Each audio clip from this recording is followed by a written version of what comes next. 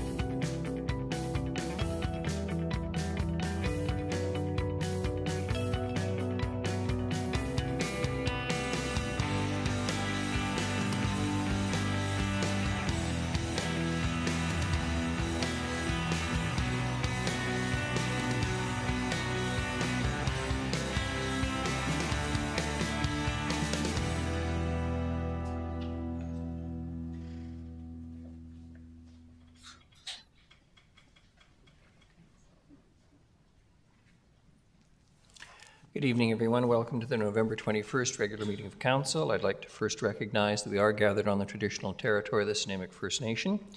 Our clerk tonight will be Ms. Sheila Gurrie. Tonight's regular meeting of council will be held in accordance with the Community Charter and Council Procedure Bylaw 2018, number 7272. The question period sign-up sheet is on the table by the double doors to my left for agenda items only.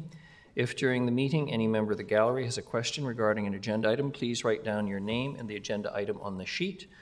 Uh, Members have been granted the authority to join meetings electronically. Uh, Tonight, Councillor Brown, I know, is going to be joining us shortly. He had to dash home.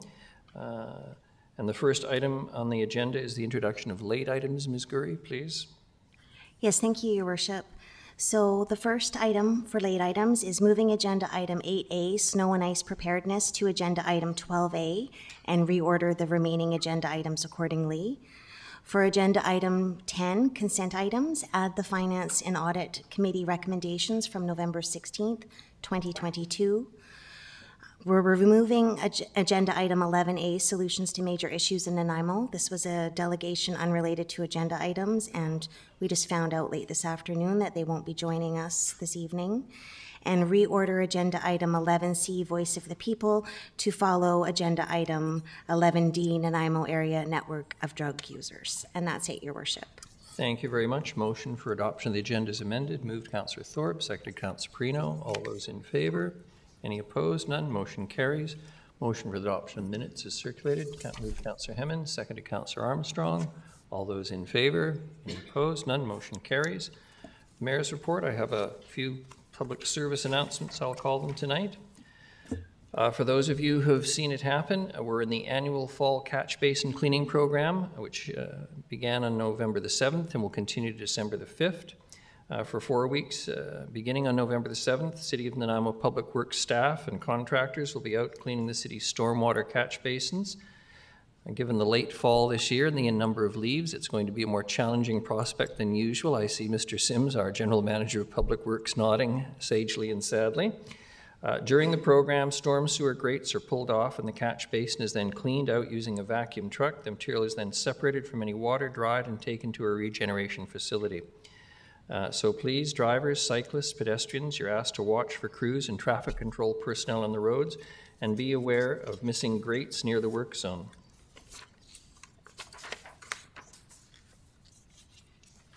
And in case anyone hadn't noticed, uh, winter is upon us. Um, so we're reminding everyone to prepare for the upcoming storm season.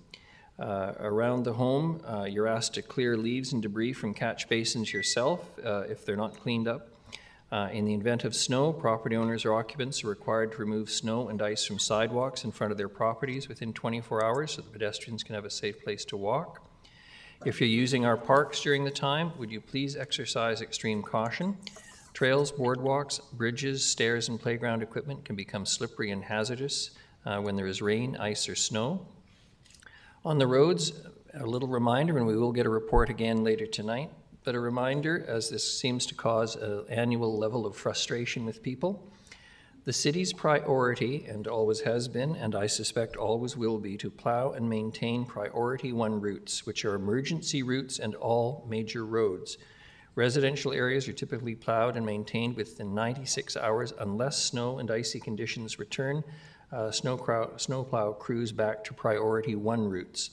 Roads can become narrower as plows uh, clear snow to the sides. To help, residents can park in their driveways, please, or on even sides of the road on odd, even numbered days and odd sides on the odd numbered days. It's hard to plow a street when both sides of the road are filled with vehicles. Uh, Drivers are reminded to ensure that vehicles are winter-ready for driving in snow and ice conditions. Please slow down and leave extra clearance for snowplows. Uh, If you have a concern or suggestion regarding snow and ice control, you can contact the City of Nanaimo Public Works Department at 758-5222 or uh, by email publicworks.worksinfo@nanaimo.ca. We are also asking for nominations for the 2023 Culture Awards. The deadline for nominations is Friday, December the 2nd uh, at 4 p.m.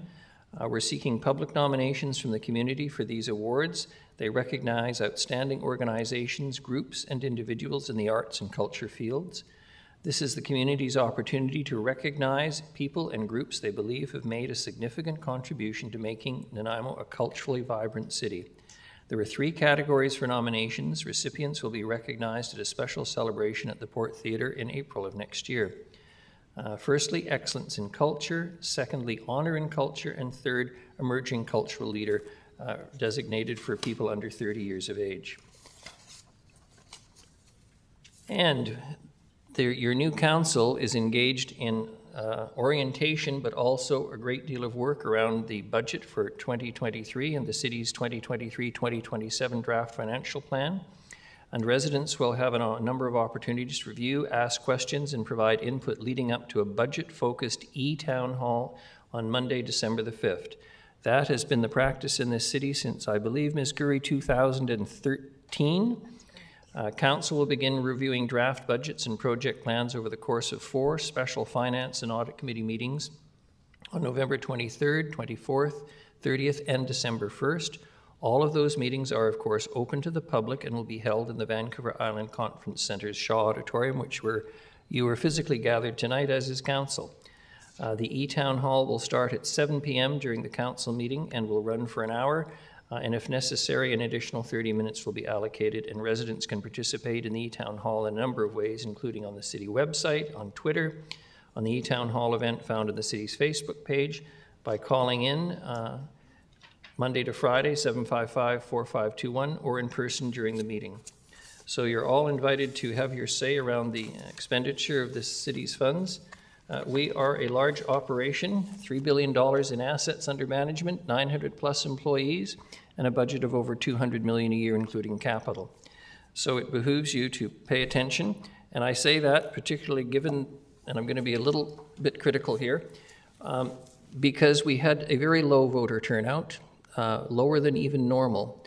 Uh, and I just think it's really important that citizens recognize they have an opportunity to participate and to comment and to attend council meetings and influence public policy. So I encourage all of you to take part. We have nothing to rise and report, Ms. Gurrie, uh, from the in-camera meeting. We have no presentations, no committee minutes. Uh, there are a number of consent items, a motion for adoption. Moved Councillor Perrino, seconded Councillor Thorpe. Uh, all those in favor? Carried. Thank you very much. And we have a number of delegations tonight. Now, I'm looking at the audience, and I want to remind everybody, although there is always a temptation to show approval or disapproval, um, the meeting of the council is a place where democracy can freely take place. It's, it's supposed to be in a respectful and safe manner. Council chambers is a workplace. And there are considerations uh, for council and staff to make sure that a safe work environment exists in accordance with WorkSafe BC regulations. In support of this, I ask quite simply, there's no cheering, jeering, or other outbursts from the gallery at any time, no clapping, no approval, no disapproval. That will ensure that when anyone is speaking, whether they be a member of council or a delegation or staff, it is not interrupted and they can make their point freely without distraction or fear of ridicule. Uh, in instances where a speaker has exceeded the time limit, um, I can, in theory, cut off their microphone, uh, but I will not do so, uh, obviously without fair warning. Uh, and if necessary, council may call a recess in order to reset the environment uh, if things uh, become somewhat difficult. I expect and trust tonight that won't be necessary. There have only been a couple of occasions in the previous term of council where that was necessary, and I trust it won't apply tonight. Having said that, the delegations unrelated to agenda items. Uh, we'll start off with uh, A, which is solutions to major issues in Nanaimo, and Dr. Don Johnson, Van Island University, will speak on that. Pardon me, sorry, mine's not up to date, yes. Sorry, Your Worship, um, there should have been an up-to-date one put on there. My apologies. So they dropped out late this afternoon, so you'll be starting with um, Nanaimo Area Drug Network of Drug Users.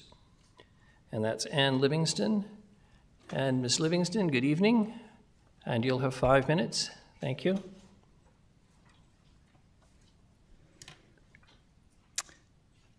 Um, okay. So the Nanaimo, can we go to the next slide, please? Do I have control of that? This thing? And which one do I press? This one?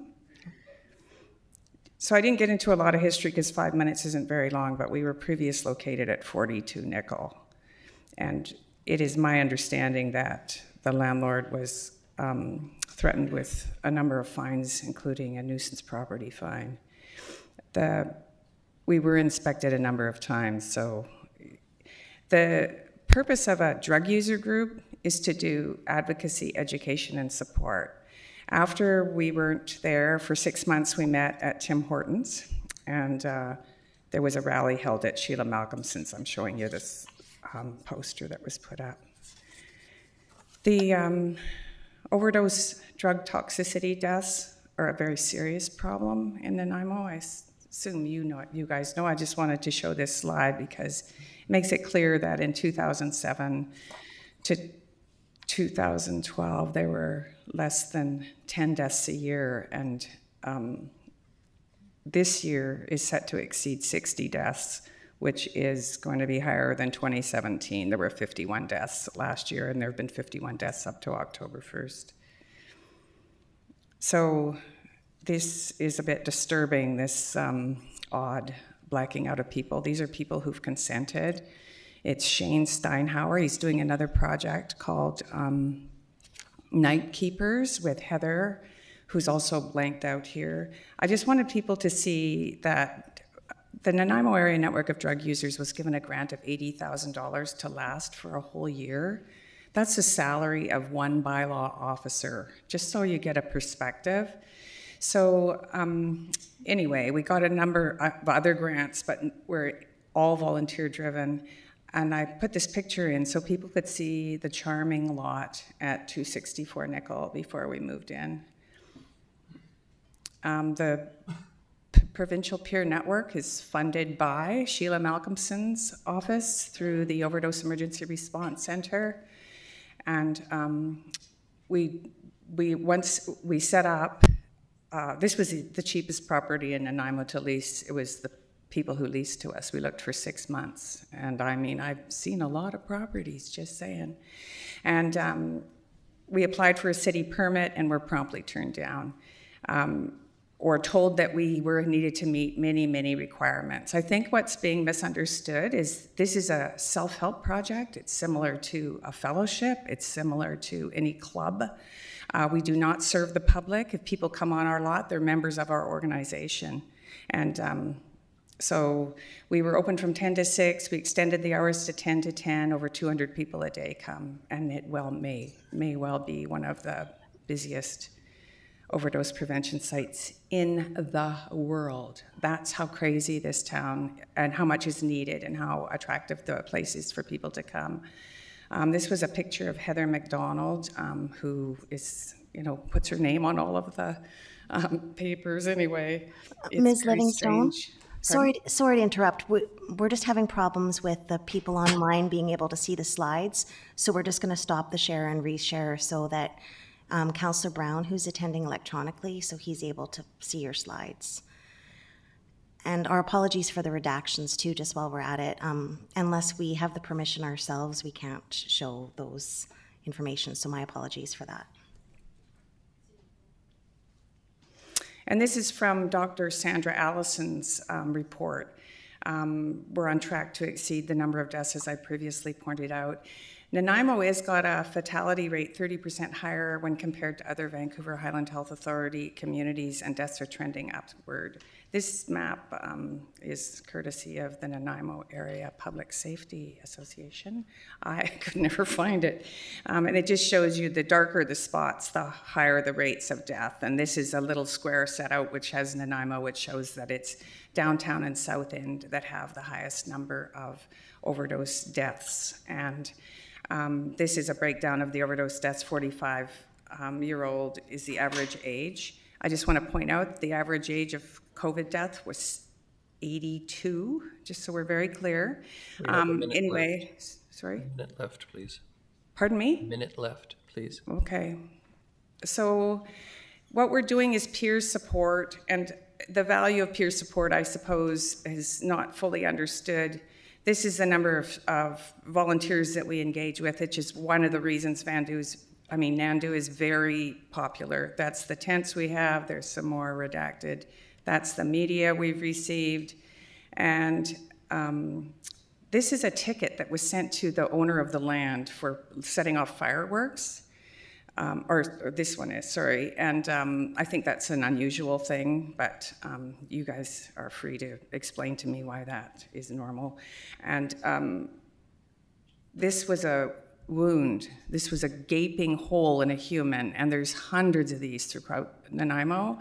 So the citizens of Nanaimo need to understand that when they go to emerge and they can't get in because it's plugged up, it's plugged up with people that are using emerge as their only health care, and they're transported by ambulance at least $1,000 every um, day in a hospital or even the emergency room visit is racking up to uh, 1,500 or 2,000, which of course up, is a case for um, homeless um, building homes is way, way, way, way, way, way cheaper. Thanks. Thank you. Um, I'm sure council has some questions for you. Councillor Manly? Thank you for your presentation. Can you tell me um, how the site is managed? Because we have such um, a dearth of um, funding, um, rather than opening a site where drug users would come and do education, advocacy, and support, we would then have a methadone program, a women's group, this kind of thing. We just get swamped with running an overdose prevention site, which is a service which um, costs almost $1 million a year to run a site like our site and we're doing it for 80,000. We managed to get another grant for 50,000 to last until March, and we also got um, uh, a temporary um, reprieve from Island Health of $4,000 a week, which ends on December 3rd, and we'll be back down to four volunteers from 12 volunteers a day. And um, despite pleading, um, it's not our fault that there's nothing in Nanaimo, despite the RFP going out for an OPS. It, nothing's set up. There's still nothing set up. And um, I've been assured, I don't know if you guys are in the know more than me, that Canadian Mental Health is going to open a tent. They say November. That gives them 10 more days, or is it nine more days? So I don't, they're not telling me. And um, it will be a huge relief to not have you know, be swamped with so many people. And the way it's run then is there's a steering committee meeting every Saturday at noon. Um, if you got issues, bring it. Um, then we have a volunteer meeting at one. That's for people of the 12 volunteers. We uh, usually encourage newcomers who come there, who often have extremely low self-esteem, to uh, try to do a volunteer shift, and they get a stipend for um, what you'd call working for six hours. And then there's the intermediate level volunteers, and then the what we call the responsible person in charge are volunteers. Then we have a general membership meeting at three o'clock on Saturdays. So that's how we operate. Do you have managers, do you have people on site who, who aren't peers, who are not users, or is this? No, that's the problem. I asked um, Island Health, I said, you know, this has happened to us. We need a staff person. We need somebody who's paid wages, who can be totally responsible for setting up, you know, like running the place. And it would be about 150,000 for a, a full-time wage plus relief for that person so they don't go mad. And the, and the funding that you have is from the provincial government through Minister Malcolmson's office, and uh, is, uh, was that an application that you put through? It's an Do you know application that goes into the doing? Community Action Initiative. They also fund the Community Action Teams, the CATs, people have heard of the CAT. They fund that as well as a provincial peer network, which is a number of um, peer-run projects. So that was the, that was the funding we got for the $80,000. And so I've, I'm hearing reports about stronger drugs in the community, lots of benzodiazepine, um, carfentanil, something I can't remember, trans something. Uh, are there, do you have uh, people overdosing on the site regularly? It's interesting on the site because um, because it's run by and for people who use drugs, there tends to be less overdoses in my observation than a site that's not run by them because there's a certain amount of you know what I mean? There's there's a huge communication between people. Don't do that. I wouldn't do that much. You know, I saw that. My friend went down on that. There's a lot of communication, and if you look at how a lot of overdose prevention sites are set up, people aren't allowed to speak to each other even on the. So we're hoping that you know that we will be able to get people to go to the other site. So we have less, but we had say four um, two weeks ago, and then some pink chunks came in. We get a little bit of a warning, but um, you know, we did have some people go down, and then they're revived on site, and, and the ambulance does come, but usually they refuse to go. Are, are you collecting data on uh, Yeah, it's been really tough because you know. Like, yeah. what- like, could you te- let me know what kind of data that you collect and, and, Um, and where that's going? That's the biggest challenge when you've got a lot of people that have very poor literacy skills in charge, you know, the inmates are in charge of the asylum, as it were. And the, um, what we've done is really focused, and we've got a couple of volunteers that are really good. Put up a position where when you're coming in, you need to sign in, and that's our data collection. We had a sign in before, but it would just be, oh, where's the sign in sheet? And everyone's wondering where it went. So it's, it's, um, it's, uh, it seems chaotic, and then other days you'll realize the whole day went by and there was no problems, which is shocking for a group of people who are so devalued that they, you know, that they can run something that well. No further questions, Your Honor. Okay. Uh, Counselor Perrino, then Counselor Hemmens, and Counselor Armstrong. Thank you so much for your presentation. And, and I just have a couple of questions for you through your worship. Uh, Everyone is a volunteer? All of the, the staff are volunteers, is that correct? Yes. And, and their background, like, what sorts of background would we see from some of those volunteers, like yourself? What, It's interesting. Um, we've just got one who is a mental health and addictions worker. We've got someone else who's run a business. We've got other people whose sole background um, is just being involved in the drug trade and being, uh, you know, I don't know. They they're pretty hardcore working class people for the most part, but um, it's interesting. Um, I agree. I mean, I'd I'd love to sit there and interview them because I'm very curious myself. But it is a very uh, varied thing. I think um, people who end up um, using drugs in in Nanaimo and are street involved, would you could say there's more Indigenous people involved and there's more uh, people from a background of trauma and jail and foster care and that kind of thing. so they would be, so they would be, most of your volunteers would have this background? Yeah, and it's just mixed. You know, people do what they're best at. Some people really just want to sweep. You know, Yes, yes. you get us someone with a power washer. Boy, there's an argument who gets to run that power washer. Just saying. Yeah. Is it a 24-hour-a-day operation? no, How many hours are you open? twelve hours a day. 12 hours a day. Thank you, Your Worship. Counselor Hemmens. Thank you, Your Worship, and thank you, Ms. Livingston. It's nice to see you again. Um, can you tell me the relationship between Nandu and Vandu, please?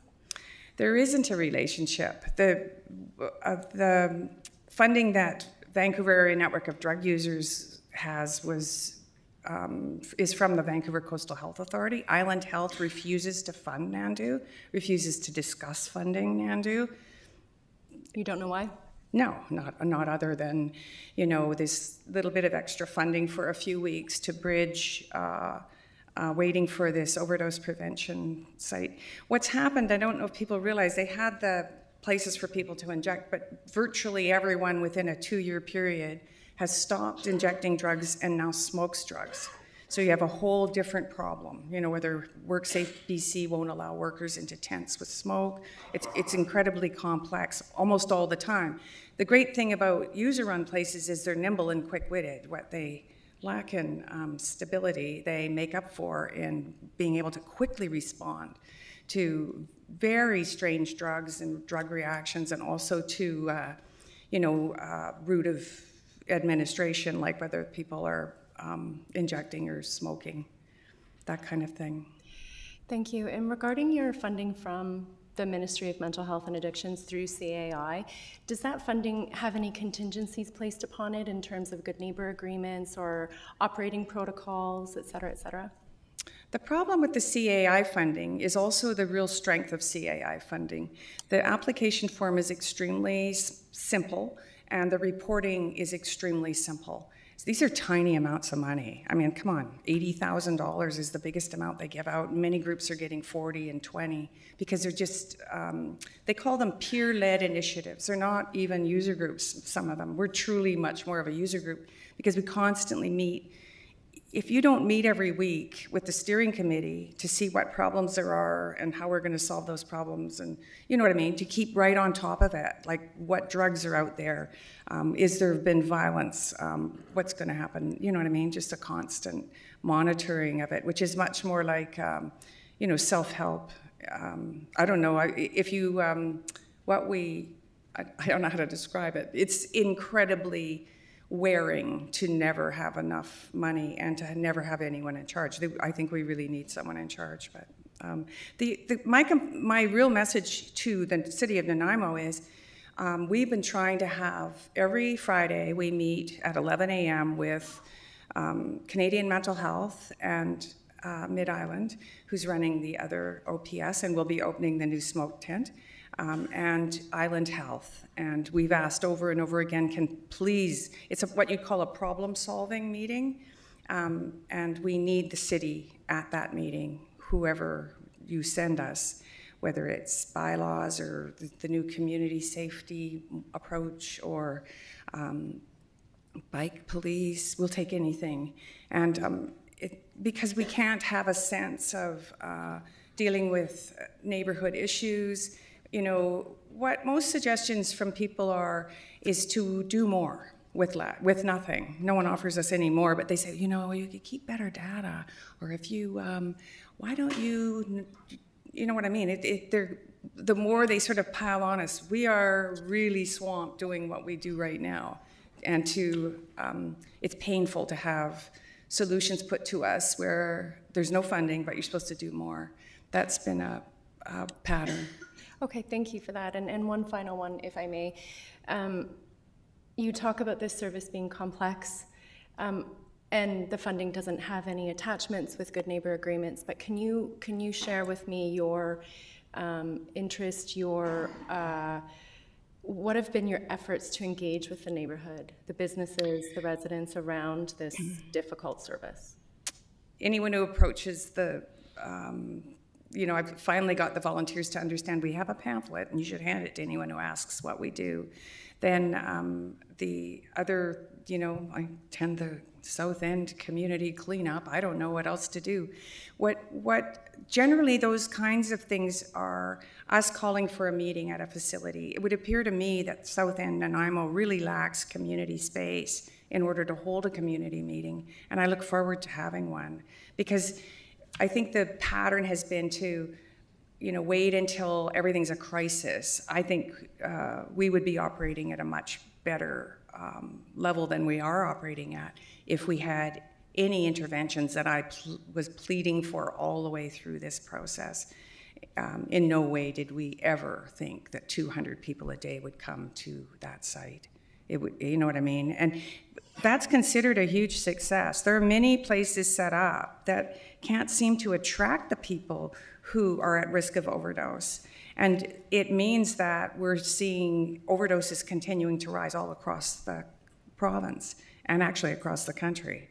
So the, I'm just saying that our success should be rewarded for what we're good at and then build on uh, trying to straighten out the weaknesses, which is trying to create some stability and some, um, you know, we need a staff person to do that. Can't just be done with volunteers. Anyway, that's, I know, you, I'm not asking you guys for money. I'm just asking you to not phone our landlord and ask him not to renew our lease.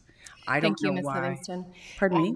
I just said thank you for that response. Uh, one final, if I may, and that's um, I've heard you say t- CMHA is opening a service. We don't know if that's actually happening. What is your intention if a new service uh, with inhalation opens in Nanaimo? Will that um, precipitate a closure of Nandu? Will that change the service you provide? Maybe we'll become a drug user group. Um, you know what I mean? Be able to focus on uh, what drug user groups do, which is education, advocacy, and support. That's different than supplying a service where people can come in and grab their supplies and use their drugs, which is what a OPS is, an overdose prevention site. So the the problem being, uh, well, let me put it this way: if Nanaimo had five places like this, then South End wouldn't be persecuted. And you know what I mean? You know, just this idea that nobody wants to have a place where 200 people are coming to it every day. As tight as you try and make it, it's still a lot of traffic going to one area. Not car traffic, just saying. There are some cars coming there, but mostly people are coming on foot. Thank you, Worship. Uh, Thank you. I'm going to go to Counselor Brown because he's, I think he's had his hand up for a little while. Counselor Brown on the screen. Thank you, Your Worship, and uh, through you to Anne. Uh, thanks so much for coming and appearing as a delegation. I know this isn't the easiest space to have this type of conversation, so uh, thank you. I have two questions. Um, uh, most of uh, colleagues have asked uh, similar questions, but the two that I have remaining right now are I'm just curious the level of island health interaction or support for the site through outreach teams, uh, or other medical support, and if you're able to describe what that looks like and, and the frequency and how much it is. And the second question I have is, um, what is your anticipate? What do you anticipate to happen if the funding ceases and the, the site has to shut down, both in terms of impact to the individuals that uh, utilize the site and also the neighboring community? Yeah, um, the NARCIF nurses come on Thursdays at two o'clock, I think every Thursday, and um, there's uh, in our teensy little building, there's a private area where they can counsel people and have that privacy.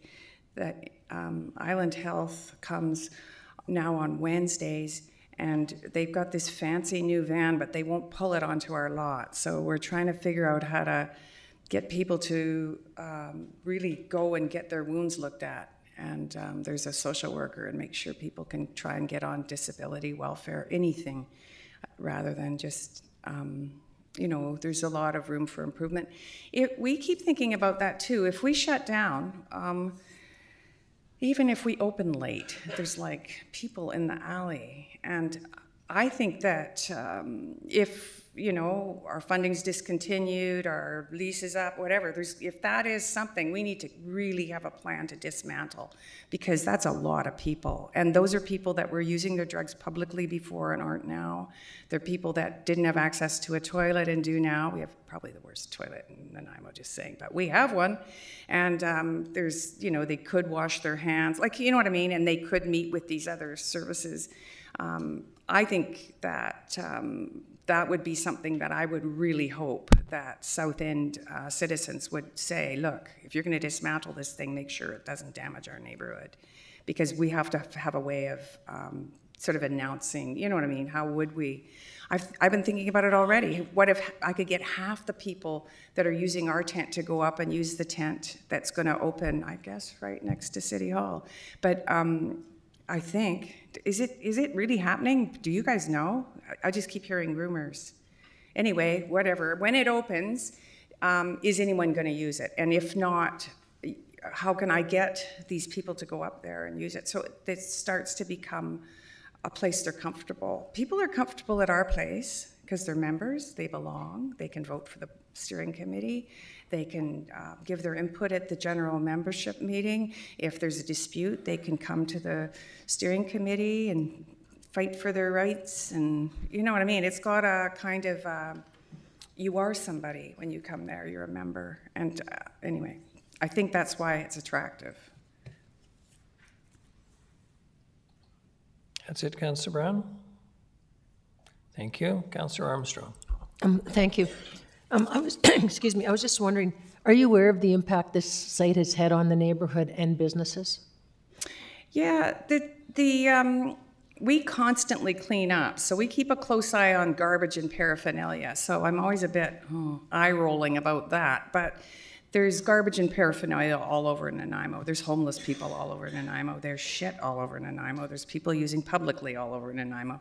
I mean, I've been coming here for two and a half years, and I'm spending more time in Nanaimo now than I am in Vancouver, just sort of sleeping on my friend's floor. But the the um, uh, perception, and, and it is a lot of traffic, it is a lot of people. So when I called for a meeting for the newly formed Nanaimo Area Public Safety Association, could we have a meeting? Also, the South End community association. Could we have a meeting?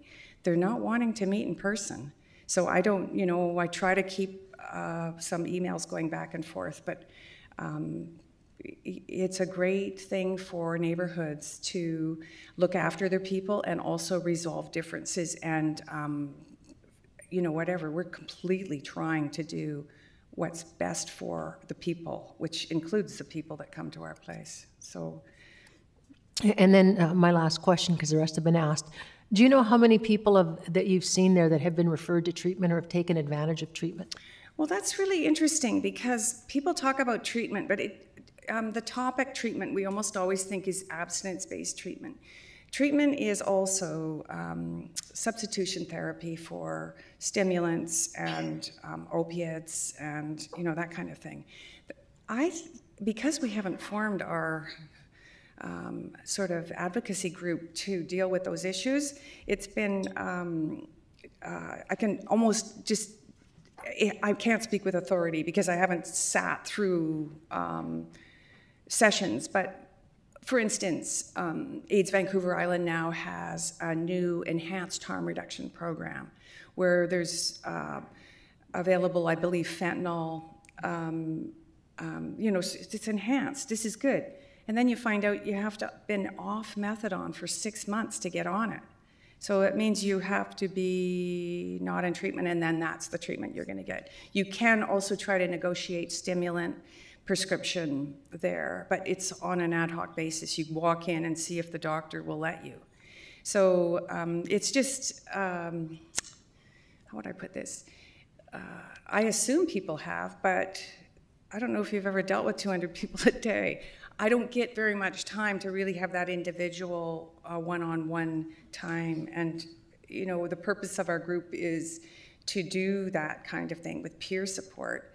And you just see kindnesses. You see a woman crying and two other women taking them aside and going into the private room and talking about, you know, you know what I mean? You see what you call peer counseling, but it's a very natural thing. It's friendships and um, not uh, clinical relationships. We don't have, we're not a service. We don't have professionals. And just, just my last question, you kind of touched on it, because it's very critical after, you know, when somebody has brought back with Narcan or whatever, that they do get medical support, and we know that they have to go willingly, I understand that, when you call the ambulance, they don't want to go. Is there any way that you can work with any of the uh, uh, addictions doctors to maybe come in and do regular checks on that? Has that been looked at? The, our greatest curse at this point is that our meetings are on Saturdays. I can't get anyone to come on Saturdays, with a few exceptions, um, to talk to the general membership. So we're eager to have AVI or anyone doing any services or bylaw officers. We've asked many, many people to come and speak to the, you know, there's about 25 to 30 people generally at a general membership meeting at 3 o'clock on a Saturday. So it's been difficult, but um, back to that. Uh, say, what is your question again? Sorry. I was just wondering if, if there is any way to get these people, because Oh. some people that have been Narcan four or five times, it starts to take a toll on their brains, their, their vital organs, Yeah. and, and they do need medical intervention. Yeah, so, you know, um, there's a lot of reports that Nanaimo Regional Hospital isn't always friendly with people, and people, you know, have misunderstandings, as I say. You know what I mean? It doesn't go well. If you were going to be transported to a hospital across town because you were got Narcan, and you realized when you got there that every time you've been there, you've never gotten treatment, you might not be very keen to go because you're just going to end up walking all the way back across town. So I'm just saying, and um, Narcan causes severe withdrawal right away, right? So we have a real conundrum on our hands, and I don't know what's going to be worked out. I, we've had only conversations with uh, a social worker there, um, Murphy, I think is her name. Anyway, she was kind enough to zoom in on one of our during COVID, one of our general membership meetings, and um, there's a long way to go with Nanaimo Regional in terms of saying if you get there and you're in withdrawal you're supposed to drive across town, score some drugs, go to an OPS, use the drugs, come back, and then sit in the waiting room again because they're not willing to help you with your withdrawal while you're waiting to see someone. Those are silly things, but they're really clearly, you know, physical problem. You know what I mean? That's um, anyway. Thank you. Okay. And Councillor Geselbracht? No? Uh, Ms. Livingston, I have a few questions, if you don't mind. Um, NANDU, is it an incorporated society? Not yet. Uh, And how does one join? The uh, membership form for um, the Nanaimo Area Network of Drug Users asks people if they are a user or former user of illicit hard drugs and if they agree with the mission statement of NANDU, which is to improve the lives of people who use illegal drugs through user-based peer support and education. And you have a president, a secretary? We have a steering committee, and um, they're all blanked out on the PowerPoint, or you'd see them. Um, Yeah, we have a steering committee that's elected. And we will form a nonprofit society.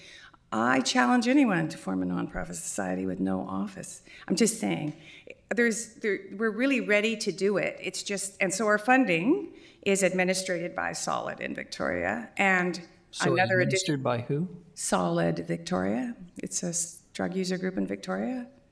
And they're an incorporated society. They absolutely are. Yes, 20 something years, yeah. Uh, And how many members do you have? Well over 400. If you can find all the. Well, the problem is the chaos. So there's 400 forms that I can find. There may well be more, just saying.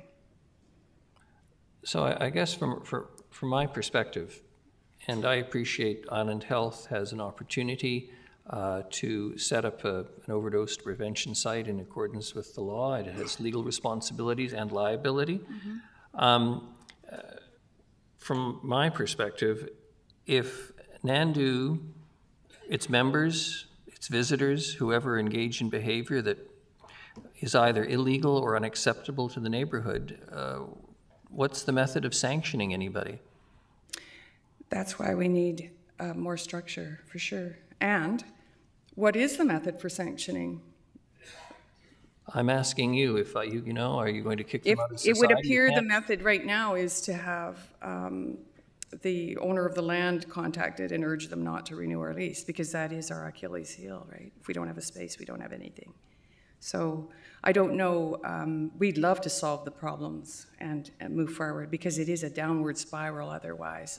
I mean, I, I, don't know if I've been clear. It seems to me I have made every effort to meet with the city of Nanaimo over and over and over again, pleading almost that we need uh, a communication and we need to um, have a way of moving forward.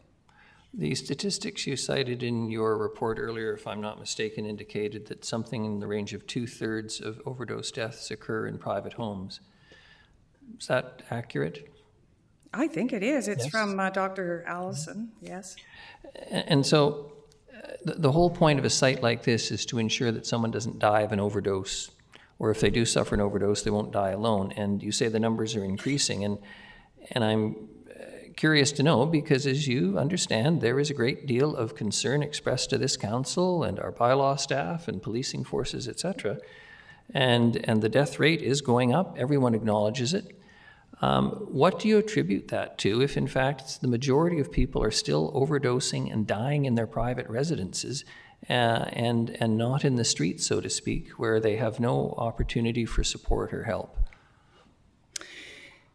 Um, I've been at this a long time. I think I'm a big public health expert. The real natural network amongst people who use drugs is the scoring and the market for drugs. We need a safe market, and if, if um, the drug dealers will buy in and ensure that their drugs are safe, then that's great. But if you've got someone who's trying to hide their drug use, and you know, I've seen it before where a truck will pull up, not at our current site, someone comes out of that truck, goes down inside, and then goes back up and gets in their truck and goes to work. That's somebody who's housed. That's somebody who, if they're going to be found dead, they're going to say, oh, uh, they, they don't need an OPS. Well, I don't know whether they need an OPS or not, but they need drugs that don't kill them. And I think that's the way to go, is to network through the drug supply, whether uh, we have to do it like DULF, which is to, um, it would appear that this public health emergency doesn't matter, even though way more people, and everyone get this, way more people have died of drug overdose than COVID since COVID started and they're much younger. This is a terrible tragedy. And um, what we need is if, if it's over basically. People aren't going to grow fields of poppies and harvest them and make uh, heroin and then smuggle it through borders. It's over. They're going to do fentanyl and they're going to keep adding. Is it carfentanil? Is it? Who knows the names? There's like 35 analogs, and each one seems to be worse than the last one. Now they're adding benzodiazepine. So it's this kind of concoction of chemicals we can't win this. And you know, I've been at this 30 years. It's looking grim, and um, or more grim. And um, I think that um, safe supply is the way it has to go. And we need those public discussions so that people really understand what you mean by it. There is safe supply if you can um, be a person who can be diagnosed opiate use disorder or substance use disorder. You go to your doctor and you beg them to give you a prescription that doctors are now allowed to give you prescriptions for stimulants, are allowed to give you um, prescriptions for opioids. If you don't have substance use disorder, in other words, you're just someone who uses occasionally and you don't qualify, it's like being an alcoholic, right? When are you an alcoholic and when aren't you? It's usually your friends all know well before you do, but I'm just saying the equivalent of what they're doing now is saying to somebody who um, drank too much once is go to your doctor and get three weak beers per day or something. You know I mean? It's hard to make the parallels, but there's some real disconnection to logic, what we're offering people for what we call safe supply. And we need to have safe supply that's really safe supply. Um, you know, I think the end result's going to be that drugs are taken out of the criminal code and it's similar to marijuana. And if my kid wants to try cocaine, I can sign out some cocaine for him. At least he's not buying it off the street and dying. And then um, I'm responsible for what I've signed out, similar to poison control. There's certain items that you buy, you sign them out. I don't know if people know this. Anyway, there's many, many uh, huge, robust public discussions waiting to happen, and there's tremendous numbers of resources, and that would be a terrific thing in Nanaimo and everywhere across this province, so that we can start to stop having a sort of hysterical abstinence only or prescription only, and really get at the real reason people are dying, especially as you just said, in homes who aren't necessarily people who are addicted. And, and if I may ask, of the people who are coming to use your facility, um, are they regular drug users or are they, are they occasional drug users? If you can get me a principal investigator, I'm dying to know. I'd love to see an actual Uh, Let me ask another question then. Are inquiries never made about this of people? Are you not interested in who's coming to your facility? So you should come over one time. You go in, you sign your name, and you wander over to the tent. So there's no interaction with someone interviewing you. That would be a, a staff person. Th- These are volunteers. We've got two people in a tent that usually has about 35 people in it. I'm telling you, when I say this is the busiest place I've ever seen. right.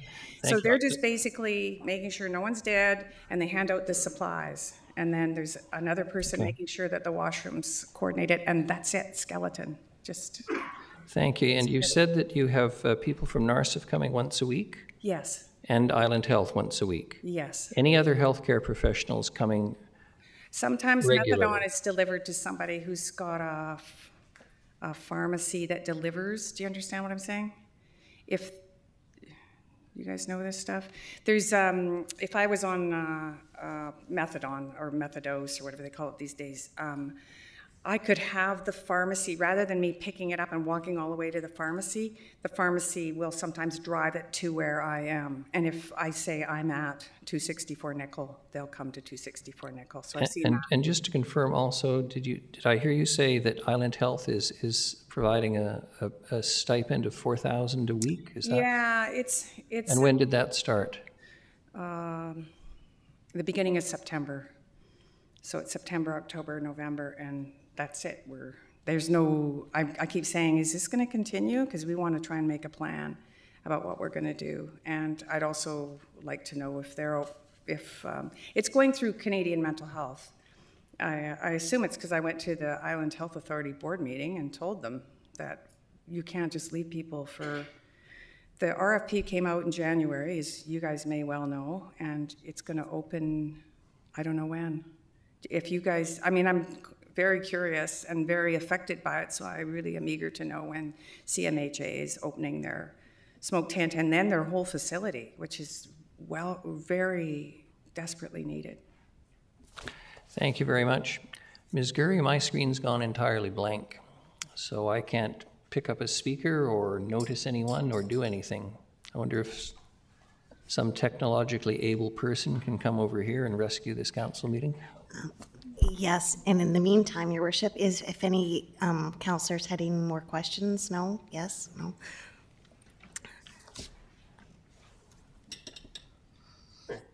Magic, thank you. Uh, And the next, if I'm not mistaken, Ms. Gurrie, uh, would be uh, the Nanaimo Area Network of Drug Users topic, and that would be Ruth Taylor to speak about the impacts of Nandu. Ms. That's correct, Taylor, Your Worship. welcome.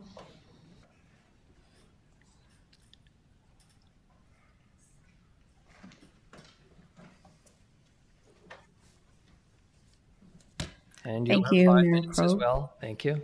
I'll let you know it when you have a minute left. Do you mind if I just grab my phone so I can see my five yes. minutes? Thank you.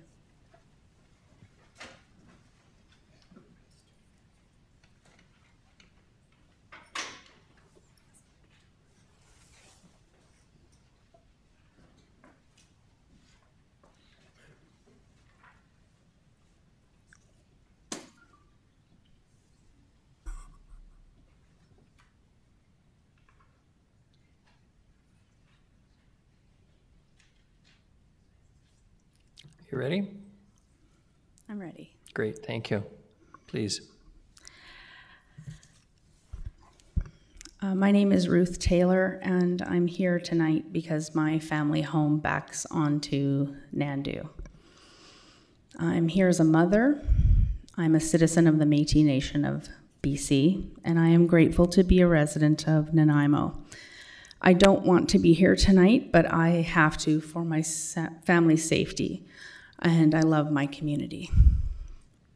When I say that this site is dangerous, irresponsibly operated, and has greatly negatively affected my home life, I say it as someone who's borne witness to its operations for eight months. I've lived in my location for five years. Before that, we lived in Harewood for nine years. And before that, I lived in the downtown east side, in the heart of it, for 15 years. So when I say that Nandu's operation has exceeded the safety threshold for any residential or commercial neighborhood, I say this from a place of a lot of lived experience. And again, I say this as a mother. You can see my home, and you can see how people have all been blacked out. Pardon me.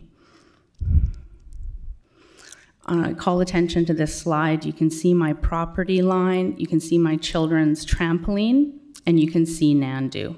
It's about 10 feet away.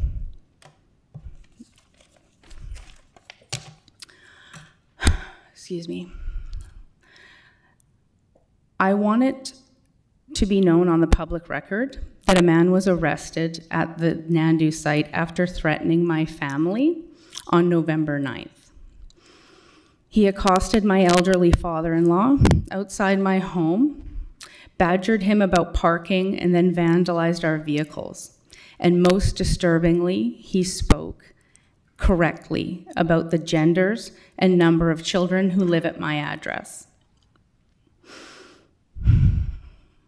He then became so physically violent that he ripped the metal hardware out of my wooden front gate by slamming it over and over again. After this incident, the man walked down the alley to Nandu. This was totally unprovoked, but I do not believe it was random. This large, physically imposing man has a history of violence and was under the influence of a substance. And the officer who arrested him told me that he struggled with the two officers who were sent to arrest this man. I do not doubt, in fact, I, I believe that my family has been targeted by somebody who believes that my concerns and complaints may negatively affect this site. And I'm asking you to do everything in your power to ensure that people like this man are not drawn to and congregating around my family home for the purpose of using illicit drugs. I do not want to come to council again with the information that someone living at my address, including a young child, has been harmed physically or worse. The effects of this site should not be this bad, and it does not need to be, nor does it need to be in this location. This is not about harm reduction versus no harm reduction. This is about Nanaimo having accountable, professional, compassionate harm reduction so that we as a community can mitigate the inevitable negative impacts that occur when people in active addiction with complex trauma, head injuries, and untreated mental illness congregate in any number, but especially large numbers. I'm frustrated because although this is a public health crisis, indeed an emergency, it appears no one will take responsibility for Nandu's operations.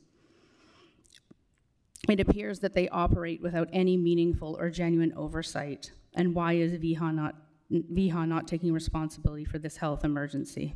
I have emailed the Honorable Sheila Malcolmson repeatedly with my concerns, and I have received no response even though her ministry is funding NANDU. Excuse me. When I contacted our medical health officer, Dr. Allison, her office told me to contact the coordinator of NANDU, who is a private citizen. Is NANDU expected to oversee itself? I'm done. Um, I was going to give you another 10 seconds, given there was a little problem here, but that's fine. If you're finished, thank you. I have a couple of councillors who want to ask questions. Please, thank you. Uh, In order, Councillors Thorpe, Hemmens, Perrino, and Manly. Councillor Thorpe. Thank you, Your Worship. Uh, Through you, Ms. Taylor, first of all, I just wanted to thank you for, for coming and speaking tonight. Uh, As with the earlier delegation, I understand it's not easy to appear in public, and, and obviously you have a, a deep emotional uh, feeling for this topic. Uh, Two questions, if I may. One, are you aware of other um, residents or businesses in the neighborhood that have had similar experiences to yours? And secondly, and you touched upon this just at the end of your presentation, have you in fact had any conversations with the organizers of NANDU directly to express your, your concerns? And if so, what was the response? Okay, so other than I know the owner of the Dairy Queen has been having a terrible time with people overdosing in his bathrooms, people openly using drugs, blocking the laneways, um, and those kind of things. I know it's been very impactful on that business, which also is one of the only businesses that you can actually walk to with your family in the South End on Nicol Street. Um, I know he's been having issues. I know other neighbors have been having problems. Issues with sleeping. I mean, this the site is open 10 a.m. to 10 p.m. seven days a week. In reality, it's never really appears to close. There is someone who lives there all the time in a motorhome. Um, the fireworks that were going off, you know, at 12:30 at night. Um, you know, things like that. There's a lot of noise violations, bylaw violations. So yes, there are, anyone in the immediate vicinity are having issues.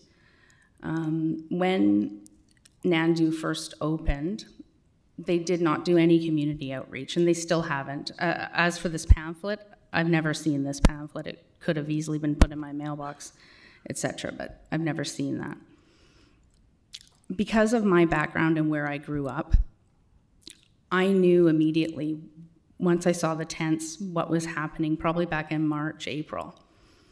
I did go and speak to a woman. Her name was either Hera or Sarah or Heather.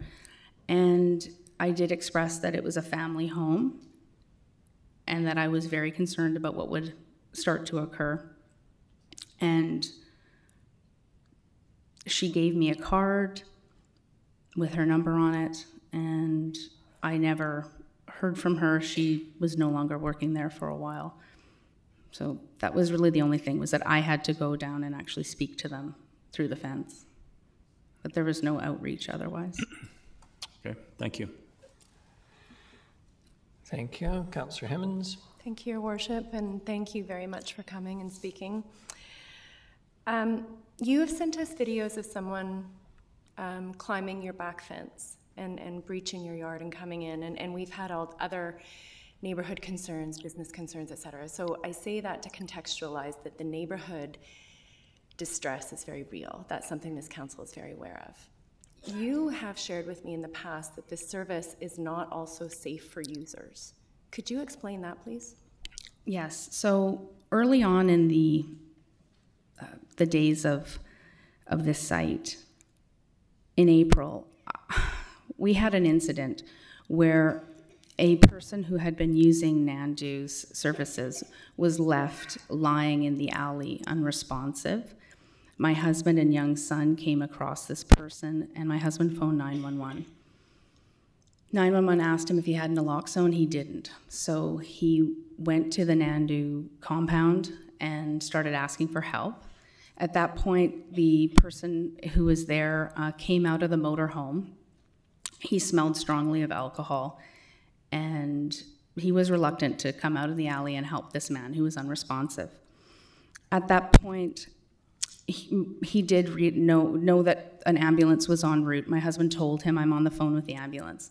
He came out from the compound and he physically moved that person, the, the man from Nandu, picked the man up, roughly sort of shook him, and once he knew an ambulance was en route, he started dragging him basically down the alley towards Milton Street.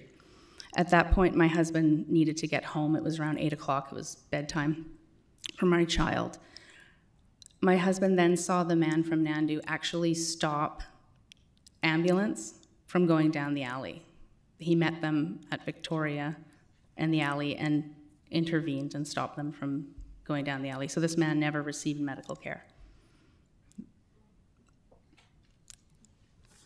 I have many more examples, counselor, like that. Um, they're in my PowerPoint. Councillor Perrino. Thank you. I know this is tough, but it's really helpful, especially for those of us who are new at this table. And I, I just wanted to tell you that it meant a great deal to hear you speak and to hear your story. So I, I really appreciate it. Just have a couple of questions uh, for you through your worship. So you you you said you've you've really been putting up with this for about the last eight months. Is that correct? Yes, eight months. And did, were you informed that they were coming before they arrived? No. No notice, no, no pamphlet, as you said? Nothing, Nothing. right? Okay. You've had no response um, from our MLA, Sheila Malcolmson, regarding this issue, but you've been in touch with her office several times, right? I've sent uh, more than a couple emails with our CMP file numbers Yes. and specific concerns, not just for my family, because my children are genuinely traumatized from what they've been witnessing, but also for the people using this service. Okay. And uh, did you get any response at all from Island Health? Yes, I did. Okay. So I contacted our medical health officer, Dr. uh, Allison, back in August. Yes. Um, her office told me to contact the coordinator of Nandu and Oh, yes. Livingston. You said that, yes. Now, when I was finally able to speak to Dr. Allison on the phone, Yes. after insisting that I actually speak to my medical health officer, she was not receptive to my concerns. And at one point, when I told her about the issues with, you know, my children having to witness these things, mm-hmm. she insinuated that when children see these kind of situations, it can build empathy Okay. And I can tell you that my kids have an age appropriate amount of empathy, but they do not need to witness others' unresolved trauma, addiction, and mental health breakdowns, nor witness open air drug deals, fighting, screaming, overdoses, predatory behavior, and all the rest that we witness from our yard. And from personal experience, empathy isn't the only effect of witnessing these things. So no other contact from any other? Okay. Thank you, Your Worship, and thank you so much for being here. Thank you. Thank you, Councillor Manly, and then Councillor Brown. Thank you, Your Worship. Uh, Through you, thank you for being here, Ms. Taylor. Um, And I'm sorry that you're, you're going through this. I am, I'm really sorry that you're having to deal with this. This is not, it's not appropriate for you and your children to be living right beside this site. And we understand that there is a, a crisis in our community. There's a, there's a homeless crisis.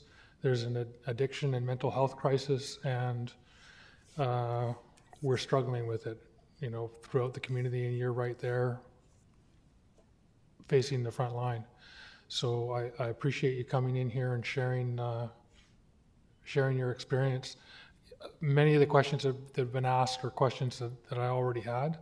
Um, I would suggest that you try to actually go to uh, Minister Malcolmson's community office and emails. I can tell you as a former MP and as a current councillor, uh, we get a lot of emails, but actually going and, uh, you know, getting on the phone or going down to the office and talking to, uh, talking to the staff there and, and requesting a meeting to discuss this would be uh, a next, a next step. And I think it's important for our MLA to hear directly from people who are directly affected uh, by what's happening in the community. And um, we don't have any particular solutions to offer for you at this time. So again, I- all I can do is apologize. And uh, I don't know if you have more to add that you'd like to add, because you're limited to your five minutes and you you seem to be cut off by the clock. Yes, um, I would like to add a couple questions. Um, one question is, what is the city of Nanaimo going to do to mitigate the immediate concerns in my alley? Will the community safety officers be going up there? I've never seen one, and I think it might even be outside of their downtown bubble. Um, is the RCMP going to be engaged? Where the, the, the bike patrol, for example? the laneways that are constantly blocked by vehicles that are left parked there.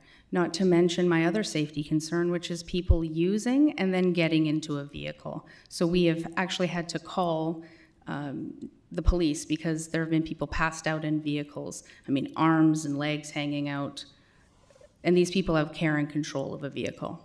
I've never seen RCMP there to to deal with and mitigate that very, very serious safety risk. I mean, I have so many ideas about what we could do, honestly. Um, but those are specific things that the city perhaps could do. Um, and I get that this is a multi level issue, but this needs to stop as soon as possible. Thank you. Thank you, Your Worship. Councillor Brown, you had your hand up, but I take it you've taken it down. You don't have any questions? That's correct, Your Worship. Uh, Councillor Perrino asked the questions I wanted to ask. Thank you very much, Ms. Taylor. Uh, Pardon me, Councillor Armstrong. Thank you. I just wanted to reintegrate what uh, Councillor Manly said, and, and it really is important that you get that message to Ms. Malcolmson, because that's the only way Nandu and places like that are going to get the proper funding to remove them from those types of sites, as Ms. Livingston said, where we can get them into smaller groups that are more contained, because I think one of the biggest problems is, is the number of people, the lack of controls, the lack of security, et cetera, which is having an impact on everybody, not only the neighborhood, but as you stated, some of the people that are clients there as well. And I know it seems hard to keep pushing it back to you, but we're politicians, they only listen so much to us. They listen more to their constitu- constitutions, constituents. I, I think it's really, and I know how frustrating it is. And I mean, I mean, there has been a, a, a overdose crisis um, announced by the province, which does limit some of the stuff that we can do. Yeah, I, I mean, I've, I understand what you're saying, but I am a, I mean, I, I'm not getting paid here to be here tonight. I have a full-time job, I have young children, and I am doing the best that I can. It is a part-time job for me to send, you know, the emails that I do to dispatch 911 for people who've overdosed in sight of my children. And I don't want to sound angry, but I do not accept this is my problem and my problem alone, and that I need to go and speak to Sheila Malcolmson. she has seen my emails, I'm sure, and if she hasn't, she needs to. Thank you. No, I understand that, and and I'm very sorry for what you do live through because I do know the toll it takes not only on your children and yourself, your mental health as well, for not getting good sleep and for witnessing some traumatic events. I'm very sorry for that. I'm not seeing any further questioners. Thank you very much, Ms. Taylor, for taking the time tonight and for your continued advocacy. Thank you. The next is uh, Voice of People on the Street, a delegation, Bruni Bruni and Daryl Holm.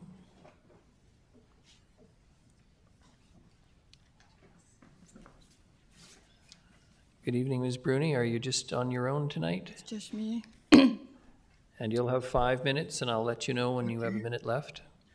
Thank Good you. evening, Mayor Krog and honorable councilors. My name is Bruni Bruni. I live on the Salish Sea, and Nanaimo is my ancestral homeland. Since we're all here on unconceded native land, people that have lost their homes for whatever reasons, it doesn't matter. They have nowhere to go. They must be allowed to be somewhere. The way these people are treated is the worst atrocity in our society today. In league with a residential school genocide, you move them from place to place to place. Why? That's terrible. I'm, there's many, many empty lands here, empty lots. I'm asking that you designate some area where people can be because you're not going to get rid of them. There's more and more homeless people, and it doesn't matter whether they're addicted to substance uses or what. In many countries, there's refugee camps. At least they can cook their own food. These are Canadian citizens. They can't make a cup of coffee. They can't do anything. You judge them with a harsh measure. The federal government gave the city $3 million to help homeless. Where did it go?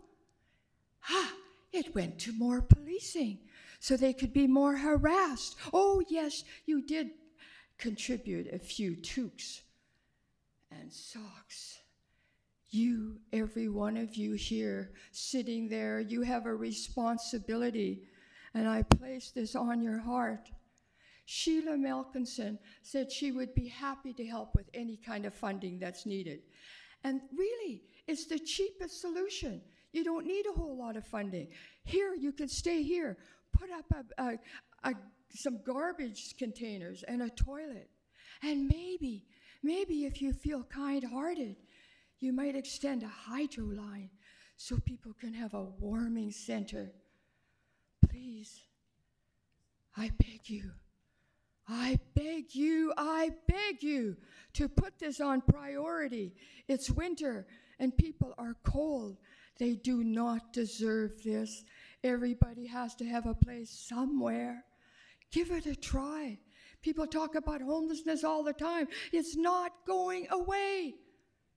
And all this land is unconceded native land. Do you know what that means? It means it wasn't won in war, it wasn't sold, it was just taken. And maybe people just need to take the land back because we all have a right to live and to life.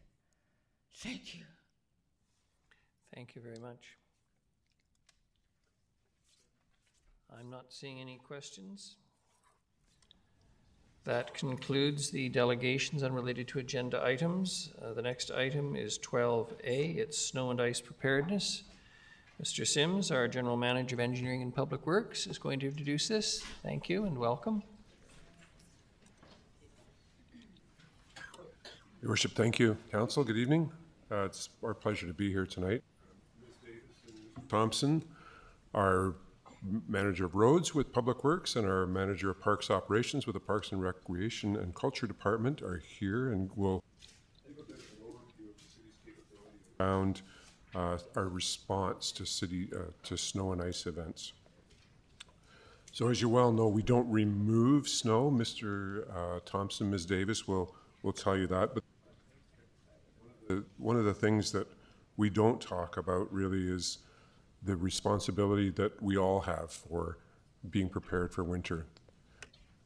The response that you'll see this evening is what the city can do, and our main focus is really on emergency routes and opening those up. Your worship, you uh, stole some of our thunder there with your evening, uh, your mayor's report.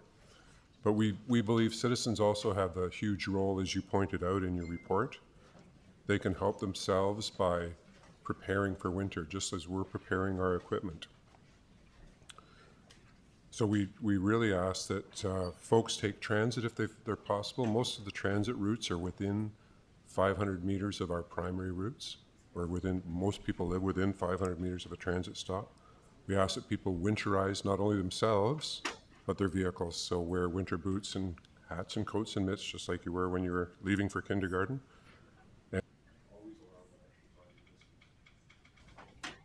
I don't know whether you're moving away from the mic or the mic's fading out, Mr. Sims, but Yeah, I'm not sure what happened there. So I, I just wanted to reference a, um, a quote by one of our fire response to a, a, a a rollover accident on Hammond Bay Road this weekend. And his comment was, when you see the roads are white, that means they're slippery. So just be aware. So uh, that's a pretty good indication, it, just to be careful. So I'll pass it over to Ms. Davis and Mr. Thompson. thank you very much, Mr. Sims.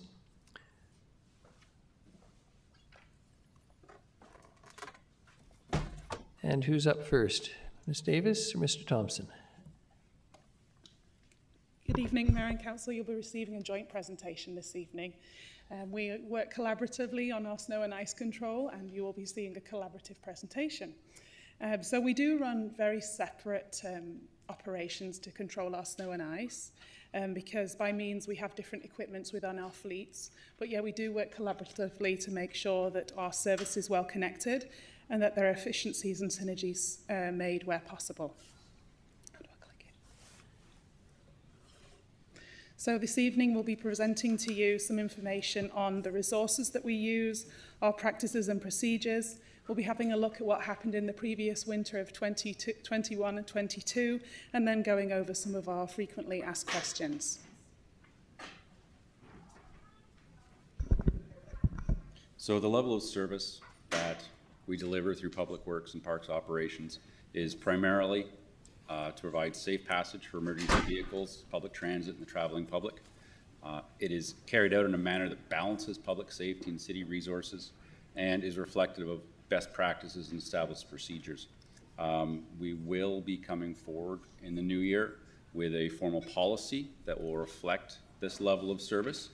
And uh, that's based on, as I said, practices, but also recent case law from Marchi versus Nelson. So the, the areas in which we work are vast and numerous. Snow and ice control is looked after on city streets, parking lots and some bus shelters, city-owned public spaces including plazas, stairs and bridges, parks, trails and bike lanes both separated and on the street. And thinking about what the parks operations priorities are in our scope of work, we have three major priorities. Uh, the first one is safety in the downtown. So we want to make sure that everybody is safe, able to get to work, and business is able to happen in our city. So what we do is we make sure, first thing uh, when snow happens, is we clear the police station, and then we head downtown and take care of over six kilometres of downtown sidewalk and over six hectares of city-owned parking lot, and other key civic facilities, including the Service and Resource Centre and City Hall. A secondary, uh, secondary priority for us is keeping our rec facilities open, and for that we use a contractor to do that service, and they are dispatched when we have 25 millimetres of snow in place. And then thirdly, we always want to make sure that we keep that spine trail through Nanaimo open and usable because it is a key active transportation network. And I'm happy that we're able to say that we can maintain over 15 kilometres of multi-use trail and that you can travel from Woodgrove in the north to Harewood Centennial Park in the south, through the nine kilometres of E&N Trail, Metral Drive Trails and the Trans-Canada Trail to the Georgia Greenway. Uh, on the public works side, we trigger our operations at 50 millimeters of accumulation. Uh, historically, short-term event that we're used to dealing with. Just wait for it to melt, let Mother Nature do the work. It's the cheapest, most effective solution that we've got in our toolkit. We do cover a vast area, road network, over 560 kilometers of roadways, over 90 square kilometers. And notably, our cul-de-sac count has increased by 50% over the last 20 years. So cul-de-sacs and dead ends are our, our lowest priority. They're also the most numerous and most effort uh, consuming activity. We also handle select transit shelters on behalf of RDN Transit. And I would point out that the things that we do not do is provide service to private frontages, so sidewalks in front of residences or businesses, and we do not service laneways. There's a quick map of our routing.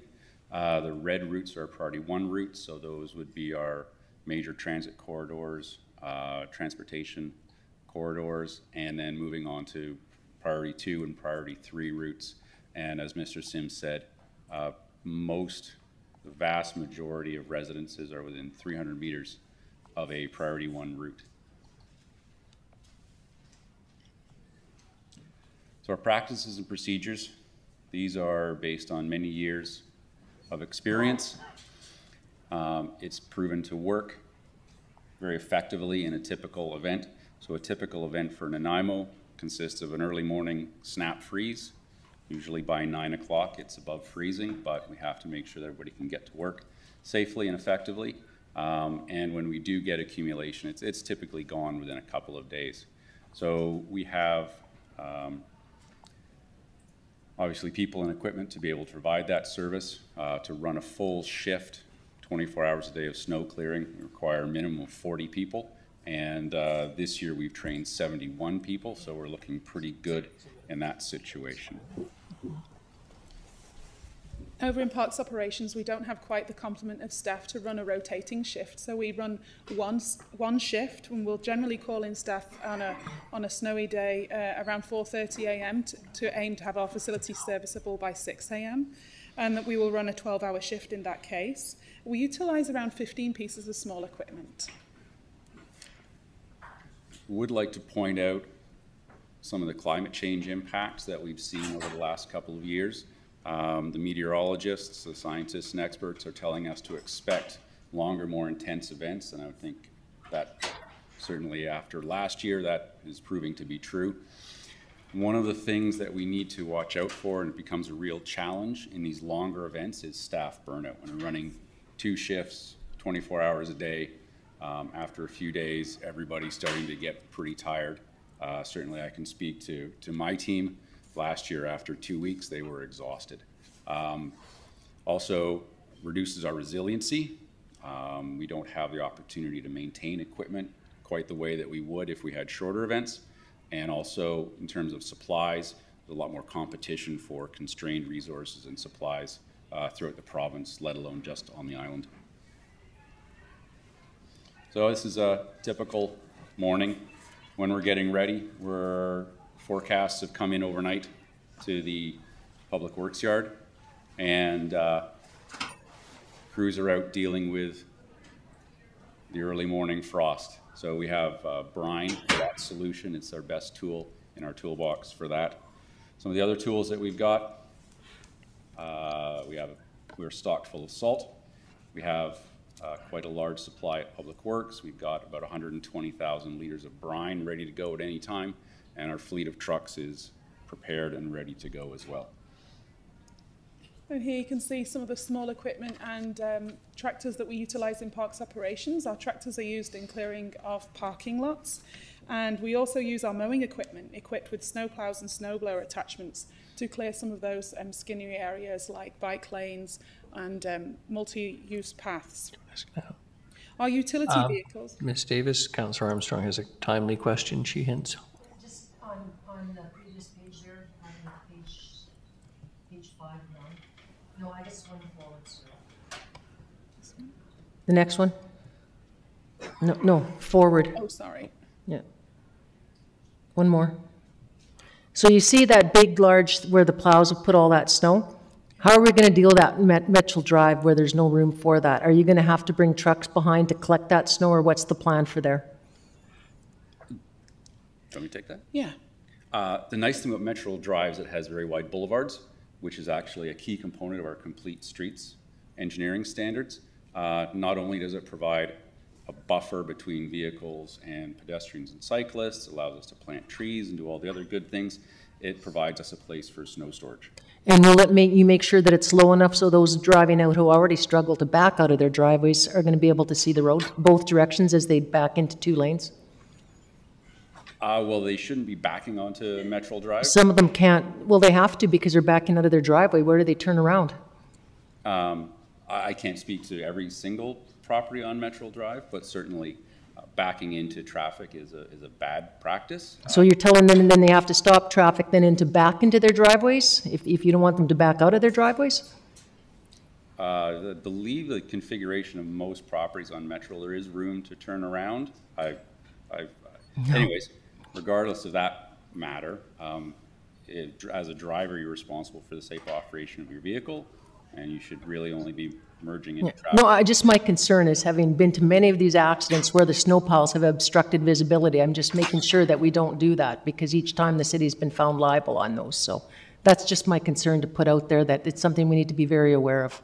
Visibility. Thank you. Please continue. Thank you. So just thinking about our equipment, it's great that we're able to utilize our summer equipment, our mowing equipment, and have the attachments like the snow blowers and the plows to get out there. In parks operations, we also have regular plow trucks, and we dispatch three of those to our partners in, par- in Public Works. Um, you can see here we've got our uh, push-behind snowblower, which is greatly effective in our downtown. And now looking at the budget, in 2021 and 2022, we had a combined budget of $880,000. In the 2021 snow season, um, we spent 1.45 million, and this year to date, we have expended $645,000 on the snow earlier this year. And we also carry a strong reserve of approximately $1.2 million. Um, I would point out that it's almost impossible to budget for a snow season. From my perspective, this is all risk money. You could budget zero. We're going to spend whatever it takes to keep the city moving and moving safely. So what happened last year? Let's take a little quick opportunity to review last year and sort of the extraordinary events that we uh, that we're faced with. Going into the holiday season, uh, we were looking at forecasts. Average temperature was right around zero. It was a coin toss as to whether it was going to be above or below zero. So we were out pre-treating on the basis that it was going to be below zero. Um, we got rain instead of snow. And then the temperature dropped and we got absolutely hammered with snowfall. Uh, between Christmas Eve and Boxing Day, we got over a foot of snow. We were running 24-hour day operations. Um, we have lots of staff who didn't get their Christmas or New Year's holiday until mid-January. Uh, they chose to spend it driving snowplows rather than opening presents with their kids. Um, and temperatures were considerably colder than average. There's some pictures. Uh, Rutherford Road, December 26th, that is a priority one route. So you can see the tire tracks. Um, Fillinger Crescent, down by the ocean, rarely gets snow. They got uh, over two feet of snow. And Cathars Crescent up in uh, near um, Westwood Lake, again, uh, lots of snow there. So this just illustrates the importance of being prepared for winter. There's only so much that the city forces can do, and we really do rely on residents and travelers making wise decisions and being prepared. Um, luckily, it was Christmas, and people had the option not to go lots of places, so that really helped us out. Uh, we also have lots of roads with cars parked on both sides, as Mr. Sims says. Makes it very difficult to get effective snow clearing in those kinds of conditions. Would encourage uh, residents where possible to park in their driveway in anticipation of a storm. That certainly is the best solution for us, and where that isn't possible, um, parking on opposite sides of the streets on alternate days. Uh, one thing I would like to point out, the snow plows, they work like a squeegee. They're not designed to scrape material off the road surface. They will brush loose material off the top. Then behind, we apply salt. We wait for that to work, and we keep clearing layer by layer. Eventually, you get down to a point, and this is what we ended up with last year, where there was a thick layer of ice bonded to the road surface. And um, it was impossible for traditional snow clearing equipment to move. And so we brought in um, backhoes to clear out some of those areas where they could actually dig down um, to the asphalt. So some of the operational challenges that I alluded to, we had temperatures that were much lower than normal. Um, pavement temperature was minus 11. Air temperature was much closer to zero. So it was a big difference in, in that uh, situation. Ongoing accumulations, day after day after day of repeating events. Uh, residential road configurations, be it street parking, as we talked about, also steep slopes. We've got a lot of roads around Nanaimo that are quite steep. Um, we recognize that it's um, safety first. If we're feeling uncomfortable trying to service those roads, best to stay off them. Uh, we also run into situations where businesses and residents clear snow from their property onto the roadway. So we've been through, cleared the roadway, and then we end up with a lot more snow put back that we weren't expecting. Obviously, a traveling public's not expecting either. And the expectation of clearing to bare pavement, as I talked about before, sometimes that's just not achievable. So compact snow is an expected condition in the winter. we face some challenges or similar challenges in parks operations and this past storm with 12 consecutive days of snow there really wasn't any other work getting done in parks operations. So there was a great opportunity cost to that event but all of our assets were snow covered. And then one of the other things we found is the increasing cost of contracted services due to insurance costs. So last year we weren't actually able to um, secure a contractor for our snow and ice removal in our facilities and we were able to handle that in-house. And, and we learned a lot by doing that. So we have reduced our reliance on a contractor, and yet we have secured a service for this year, although the hourly rate is three times what we had paid in previous years. So some of the operational adjustments that we've made based on that learning from last year is we have increased our contract for supply of salt. We have limited, we have sufficient but limited capacity at Public Works and our contractor has agreed to hold reserve for us. Um, we also will use heavy equipment more readily to access difficult areas instead of snowplows. We'll make an operational decision as to when that's an effective use of that resource. Um, and one of the things that we're looking at is weather stations. Give us actual on the ground visual uh, condition monitoring at key locations around the city uh, we've looked at three locations so far, and we think that project might cost about $75,000 to implement. It's not yet budgeted, but it's definitely a discussion that we'd like to have as uh, 2023 rolls along.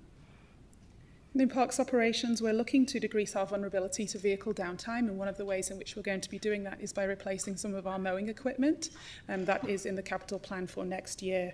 And also, our new utility vehicles are working excellently to clear our multi-use network.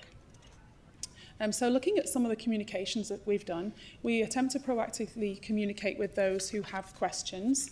And we did some consult consultation with the Accessibility Committee which I think was went down quite well. And I was glad to be able to attend that meeting and hear questions from those um, who have mobility concerns, who may have different needs and different ways of, of thinking and different needs to access our facilities. And so we took on board some of their feedback, which was, uh, was good to do, and it's actually changed some of our, our operational practices, just in terms of simple things of where we might shovel snow and, you know, are we thinking about having um, disabled parking spaces right next to a facility, making sure that those are cleared first? and easy things, but things that might not always come to the front of staff's mind. So it was good to do that. And then we continue with our ongoing proactive communication through a variety of channels. Uh, the City of Nanaimo maintains an active Facebook and Instagram account, Twitter as well. Also, the Nanaimo Recycles app, if you have that and your garbage is going to be missed that day, the app will ping and let you know that your garbage is going to be missed and you might put it out the next day. Voyent Alert is our emergency app, which I would recommend everybody download. They could be made aware if there's an emergency situation relating to snow. Nanaimo.ca is always kept up to date, and we also communicate with the media who will be policing updates on the radio and on the TV. And then what you've got there is an advertisement detailing our services in the REC guide, which is available online today. And here are some of our frequently asked questions. uh, the most frequently asked question is when, when will my street be plowed? Um, as I mentioned, we have a plan in priority order, so uh, priority ones, twos, and threes. And Uh, As I said, most residences in Nanaimo are within 300 meters of a priority one route, so that's good news. And um, why is the E and N trail cleared before my street? This is an interesting one, and um, really the answer is, and we try and maintain a, a synergistic operation here. And really the answer is, it's about the equipment and equipment availability. So the E and N trail is ploughed using um, utility vehicles. These vehicles would not be used to plough a road, and so when they're available, it is a priority two, and we're generally able to get there after the downtown. And so it may well be cleared before a priority two street or, or some of the cul-de-sacs, absolutely. But it is really, really important that we maintain that um, active transportation spine through our city. Uh, The next question we get is, why does the plow push snow on my driveway? I think this question came up last year as well. Uh, s- We would encourage residents, we've got a couple of tips and tricks. Uh, We've been doing this for a long time. We've seen many, many situations. Uh, Our advice to the residents is to minimize the potential for this. When you're plow, when you're shoveling out your driveway, shovel the snow to the right side when you're looking at the road, that, because the plow will be coming from the left side. So any material piled up on the left side of your driveway will end up in your driveway. So if you put all the material on the right side of your driveway, you won't be affected nearly as much. And that will help with visibility as well, to Councillor Armstrong's. Now, thinking about cyclists, what can cyclists expect this winter? Our separated bike lanes are maintained as a priority too by parks operations, so that is the bike lane along Front Street, um, the E&N Trail through to Metro Drive, and also um, the section of Bowen Road from Island Highway to Labio. And so we maintain that as a priority too, and we, we try to get there within the morning of the snow event. It is not something that we guarantee, but after the downtown is cleared, we head to those areas. And I would expect everybody to please remain safe. We won't be able to get it back to black, and we will be able to clear a, a narrower path than is normally than is normally available, but it should absolutely be safe and passable. And finally, uh, sidewalks. Um, As I mentioned earlier, it is the responsibility of the property owner to clear sidewalks. Um, We take responsibility for the city sidewalks, um, and we would ask that residents and homeowners and business owners uh, be part of the community and help out. Thank you very much. Thank you very much. Councillor Armstrong? Two, two questions, if I Councillor may. Eastmure, Manly, and Perrino in order. First of all, I just wanted to say, I think last year you guys did an amazing job. I think the crews did, did great work, and, and it was really well done, contrary to what some people think. I think people forgot that you had to keep going back to clear emergency routes, so.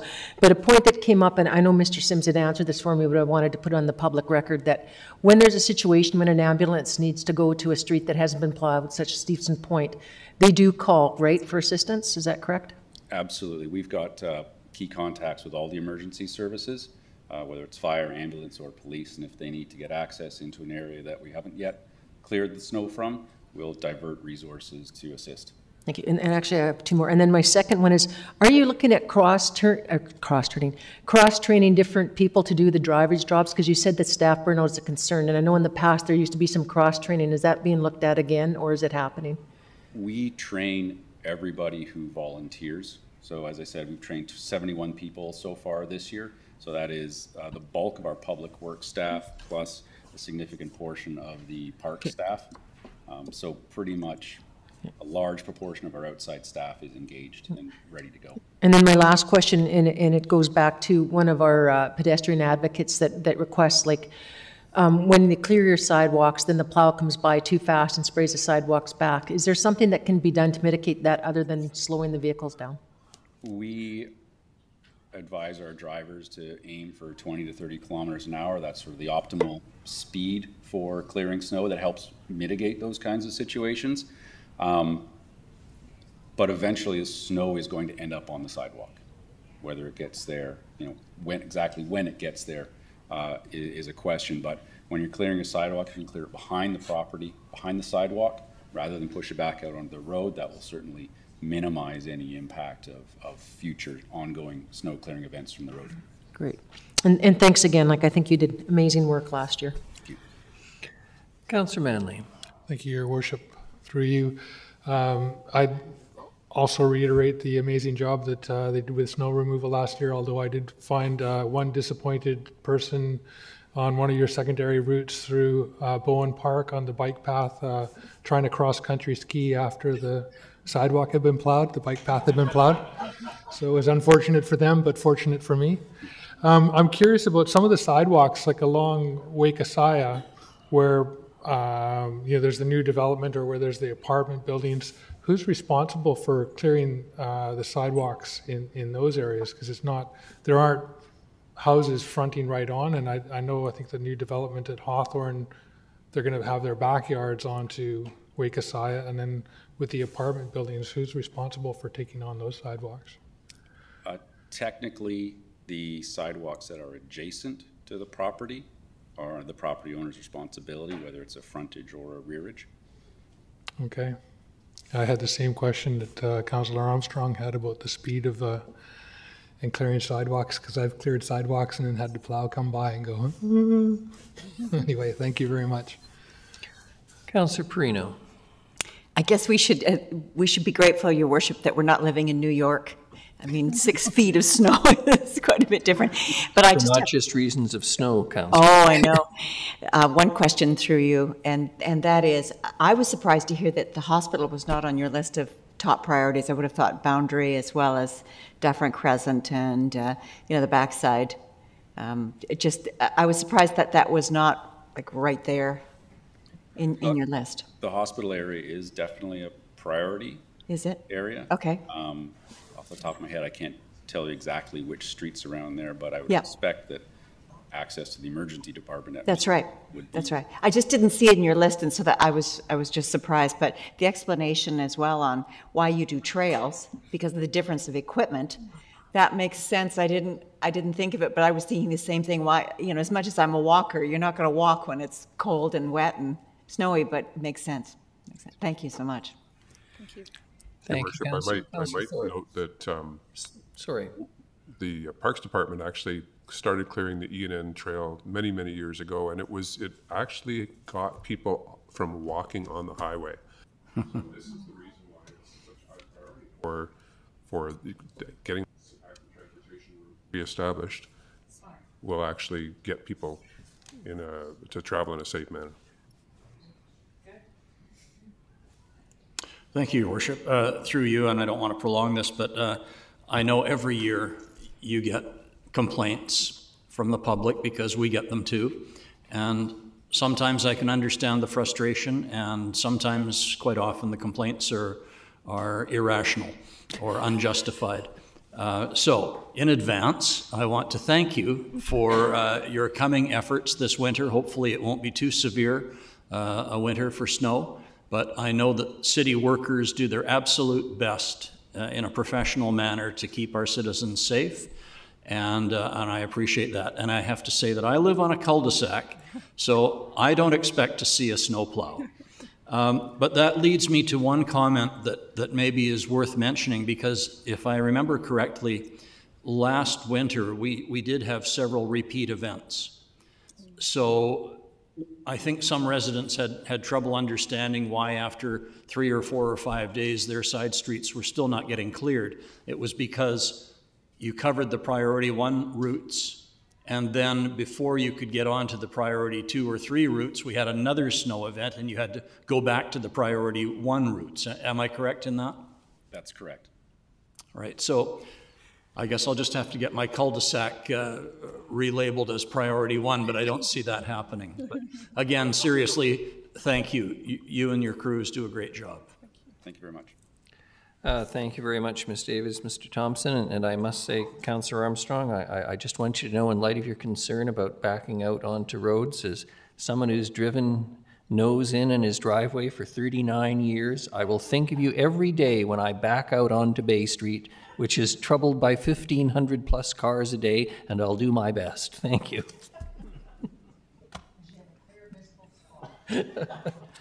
Not when I shovel my driveway.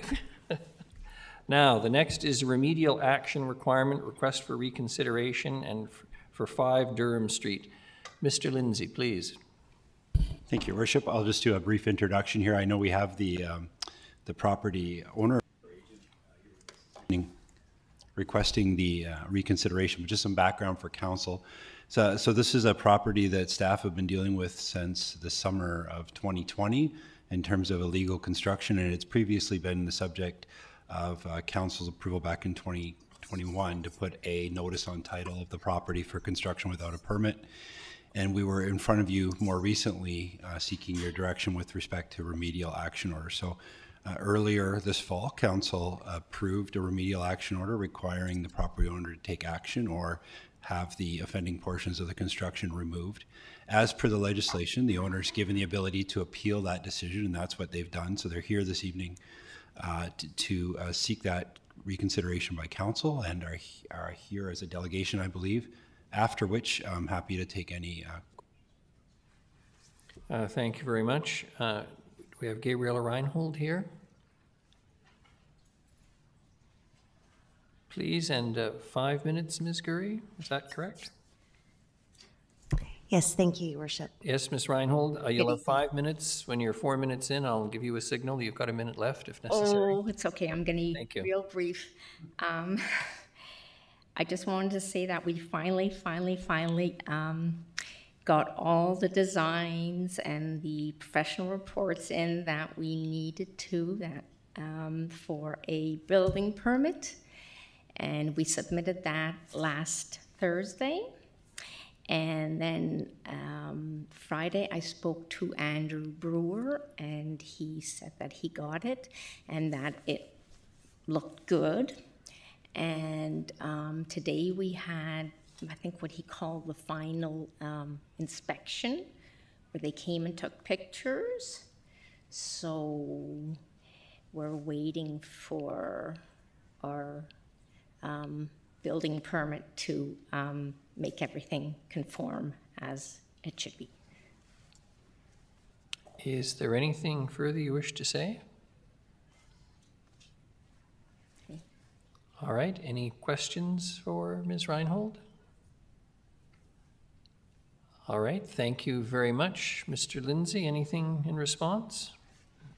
Uh, Your worship, I, I can certainly confirm that we did, um, um, and thank you, get a building permit uh, application, I understand, last week, and I understand staff were in attendance at the site today. Of course, that's always the intent with these files. We don't do this for the purpose of, um, um, of fines or fine revenue. We do it simply to bring buildings into compliance, and whenever property owners are working with us to do that, it's appreciated. So in this case, it's taken a considerable amount of time. The remedial order that council has issued talks about uh, action being taken within 30 days. And from staff's perspective, as long as the building permit is submitted and they continue to work, um, obviously continue to work with. Microphone seems to be cutting in and out. Um, as long as they continue to work with us to finally get to the point where we can issue that permit, then there'll be no need to proceed with the remedial action order. Uh, But at this point, your worship, we would, we would recommend no changes and, and uh, Sorry, Your Worship, it seems they still haven't fixed those microphones. Sorry. so for the record, it's not my fault, is what you're saying. I didn't think both you and Mr. Sims could be fading out in the same evening. Thank you very much. Uh, Councillor Armstrong and then Councillor Thorpe, please. Actually, uh, um, Mis- Mr., oh, sorry, I'm losing my brain today. Mr. Lindsay answered my question about just stay status quo, thank you. Uh, Thank you very much. Councillor Thorpe? Thank you, Your- thank you, Your Worship. And I just wanted to confirm what I think I just heard Mr. Lindsay say, that even under option one of the staff recommendation, uh, the uh, delegation would still have 30 days to be in compliance. Your worship, again, the, the order says 30 days um, to take action. And it's always our intent, of course, to have the permits issued wherever possible and to have the buildings legalized. So as long as there's active uh, work being undertaken by the owner to do that, we would say, we would consider that as taking action and we would take no further no further action with respect to remedial action order. Unfortunately, this file has been going on for a couple of years. And if it got to the point where there was no action being taken or no responses to our um, requests for information, then we would we would be able to um, proceed with that order. And that's what that would be our recommendation. Thank you, and that, and that was my, going to be my next comment, that this, this file has been in front of us for two years. So I, I think I think 30 days more is reasonable enough. But I recognize there's no motion on the floor yet. Thank you. Thank you very much. Councillor Perrino. Uh, Your worship, I was just going to ask you a question for clarification. So are, are we suggesting that, uh, Mr. Lindsay, you're not looking for a motion at this time then, that we're basically let it go for 30 days and see how it resolves itself? Is that, is that what you're suggesting? I'm sorry, I, I'm just confused as to the Yeah. next move. Thank you, thank you. I s- Sorry, um, through your worship, I should have been more clear. That, uh, that's it, you keep fading. Fading in and out. Um, yeah, he should change desks. I, I'm not sure if that one's gonna work any, well, maybe it will. Three times We'll give it, we'll give it a shot. Sorry, your worship. No, I, I can just explain. I think what Mr. Lindsay was going to say, um, Councillor Perrino, is that option one, um, is the recommended option, which is that council confirm the following resolution that was passed on October 3rd. Is that correct, Mr. Lindsay? Yes. Sorry. Do I hit that one? Thank you.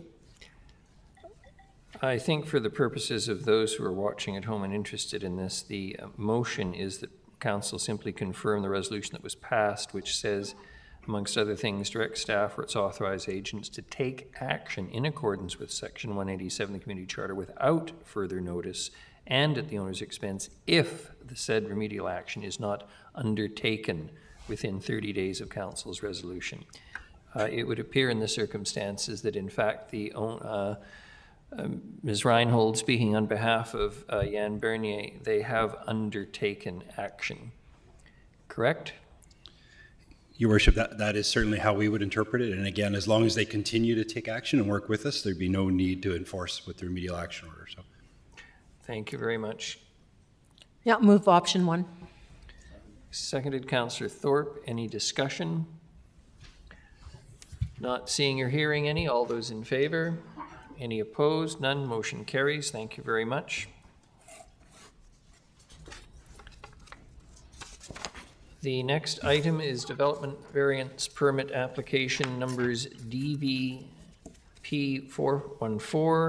414-1213 Princess Royal Avenue, DVP 436-6675 Mary Ellen Drive, DVP uh, 437-1835 Bowen Road, and DVP 438-4275 Rutherford Road.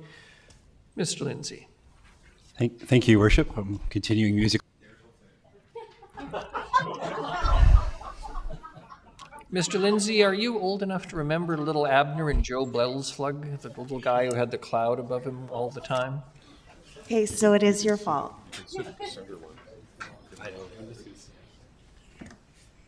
You're just destined for the big podium.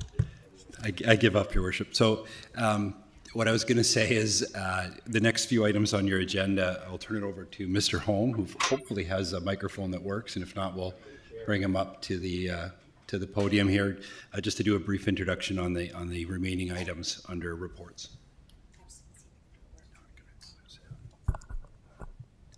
Mr. Holm, please. Uh, Thank you, uh, Your Worship. Uh, So the first item um, here I'm introducing tonight, a development variance permit. It's actually uh, four development variance permits for four properties. Same, same uh, topic though. So uh, what's proposed here, uh, a sign bylaw uh, variance. And um, this is for uh, McDonald's restaurants uh, in, in town on uh, Princess Royal, Mary Ellen Drive, Bowen Road, and Rutherford uh, Road. And uh, the proposal is to um, uh, allow LED menu board signs at these four McDonald's restaurant locations. These are, so they're pre-sale and menu board signs that are proposed to be LED.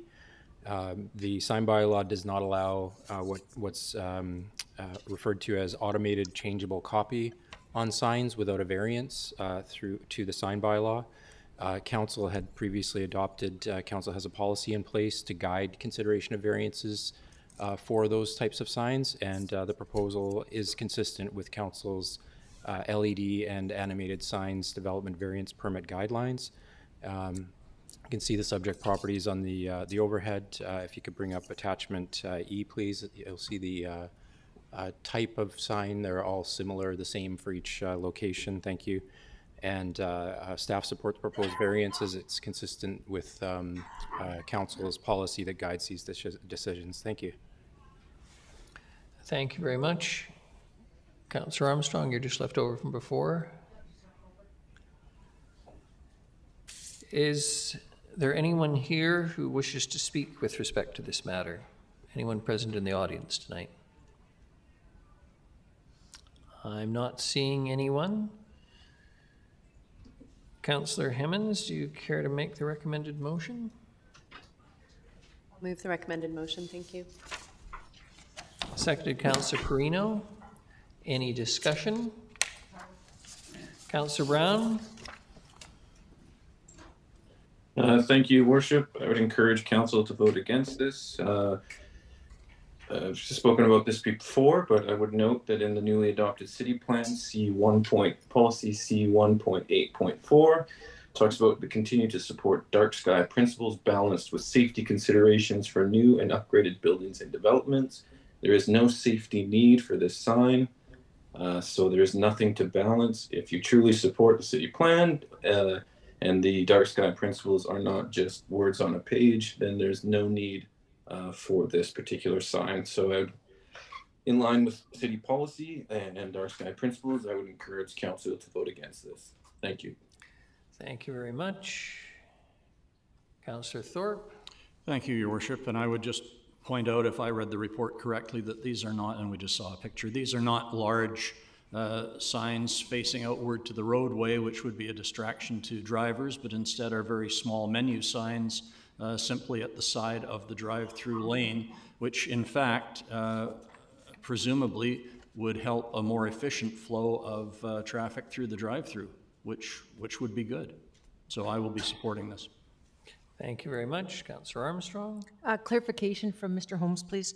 Um, We heard uh, Councillor Brown's comments about the guidelines, yet you stated that uh, this actually confirms with our guideline policies on LED signs. Is that correct? Uh, Through your worship to uh, Councillor Armstrong, it is consistent with our, uh, the um, council adopted policy that guides uh, decisions on LED and animated sign variances. Thank That's you. true.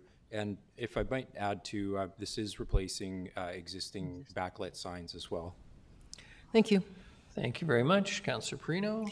Well, actually, thank you, um, Councillor Brown. I, I was looking at the same thing as well and concerned about the lighting, but the background in this is actually black. So I think it'll really reduce the amount of light that it has, and so I'm, I will be voting in favor of it. Uh, Thank you very much. Councillor Manly? Yeah, I have a question for Mr. Holm for you, your worship. Uh, and I'm, I'm wondering about the, the amount of light coming from these signs, what the, the, uh, will it be the same intensity of the existing signs or will it be more intense? Um, Sorry, through your worship uh, to uh, Councillor Manly, I can't um, answer uh, the relative uh, brightness uh, question. Apologies for that, but uh, it does, it is consistent with um, the allowable um, intensity that's, that's provided for in, uh, in council's LED and animated sign uh, variance policy. Okay, thank you. Thank you. Councillor Brown? Thank you, Your Worship. I won't belabor the point, but I would just note uh, that council's existing policies are not dark sky friendly.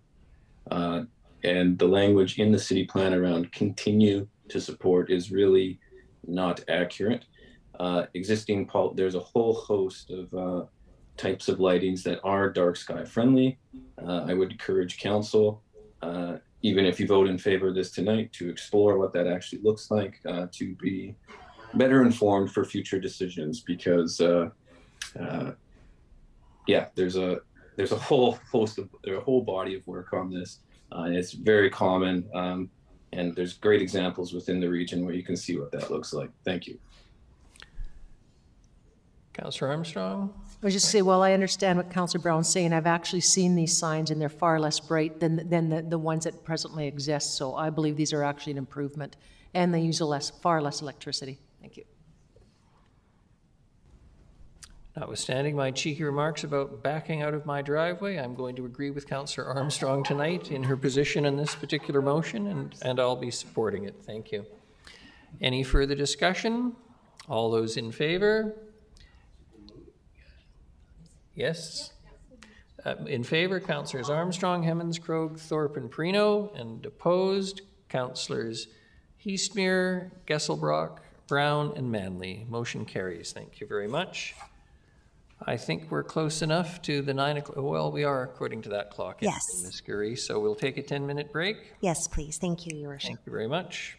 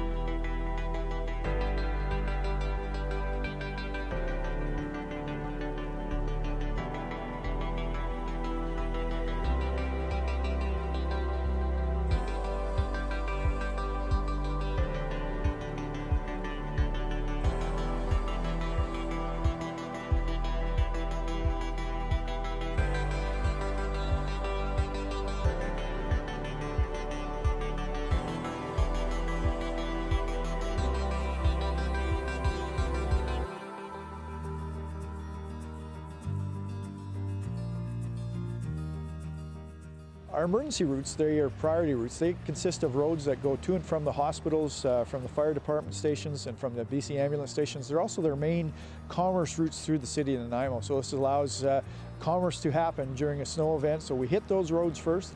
Once those are clear and open, then we move into the secondary roads, and then we move into the residential areas, which are dead end roads and cul-de-sacs. And it can take up to 96 hours before we get into the residential areas. One of the uh, side effects of plowing snow is it does end up on the sidewalk, and this can be very frustrating for homeowners and business owners that have just cleaned the sidewalk. Uh, it also pulls into their driveways. The crews try to keep it as close to the curb as they can, but we need to open the road right up to the curb to allow the drains to be exposed for when the snow starts to melt.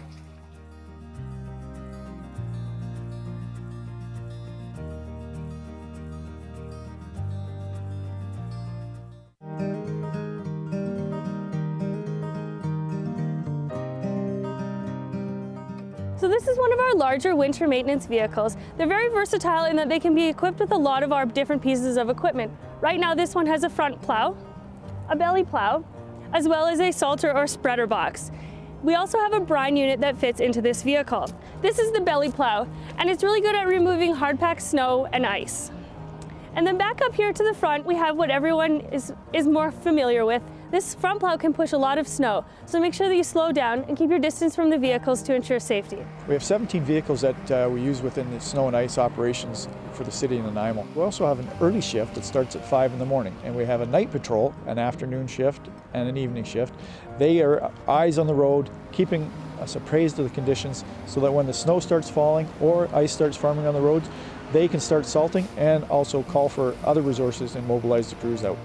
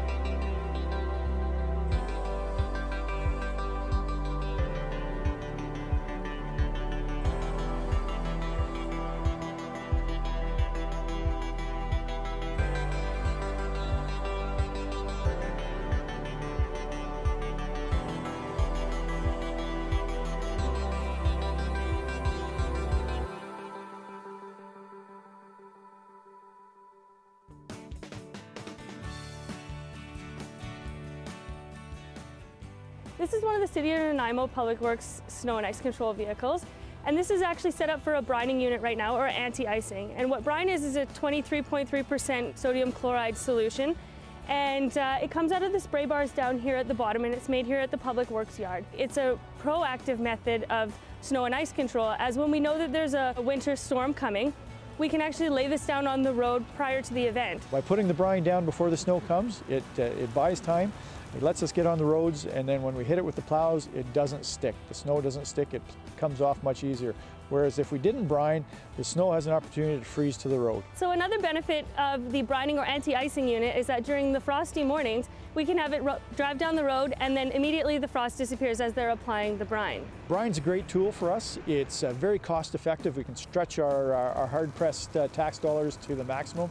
Uh, we can make brine for uh, cents on the dollar. So the other thing that we ask is that everyone stays back from these anti-icing or any winter maintenance vehicles as it's, they have limited visibility and it's poor conditions out there and they're trying to maneuver around everything. So just stay back and give them a little bit of room to operate and clear the roads.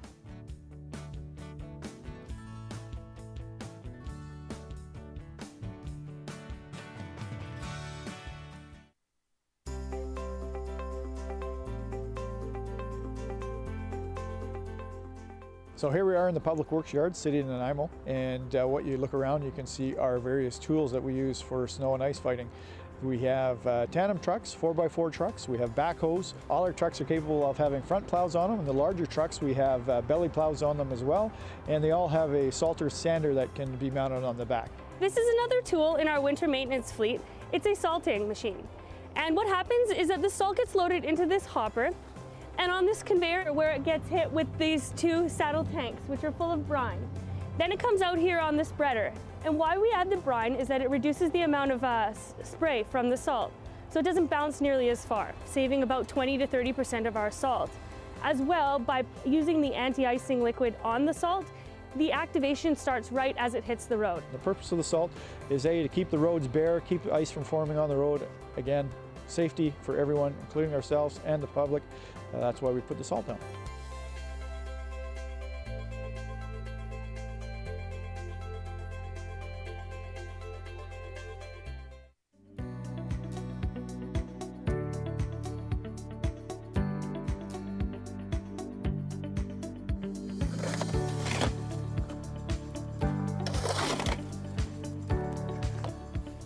Today we're talking about clearing catch basins or road drains on residential roads.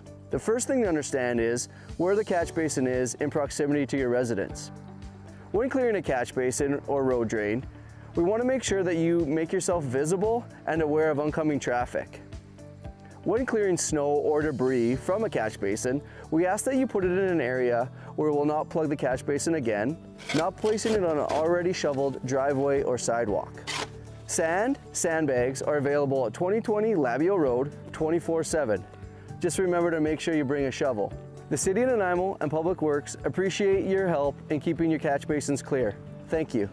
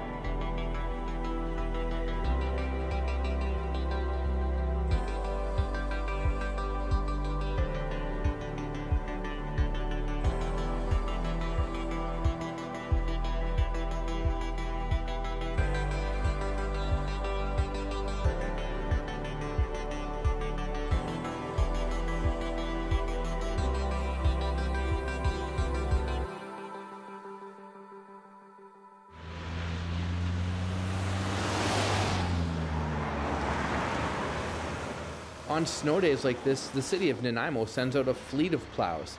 How well equipped are these trucks? They're really well equipped. We all have plows and sanders on them. Um, we come with a belly plow too, so we're well prepared once we get a big snow like this. A lot of waves, a lot of friendly faces. People are pretty happy when you uh, come and rescue them and clear off their road. So on our maps to determine where we go, we follow our red routes, which are our bus routes and our major routes, and they're first. Then our secondary routes are in purple, followed lastly by our side streets, which are in yellow. We try not to cover a nicely shoveled driveway, but sometimes we don't really have an option, and it's unfortunate. We're not trying to do it on purpose. In some cases, the plows can't scrape heavily packed or iced snow right down to the surface of the pavement. So how does it clear away? We're taking off as much as we can, and then we're putting lots of salt down to, to melt the rest. So sometimes it just takes a little bit longer, but it's uh, usually pretty effective. Salting is really important because um, if we get it down like this, then uh, roads won't freeze and uh, way safer for the drivers out there.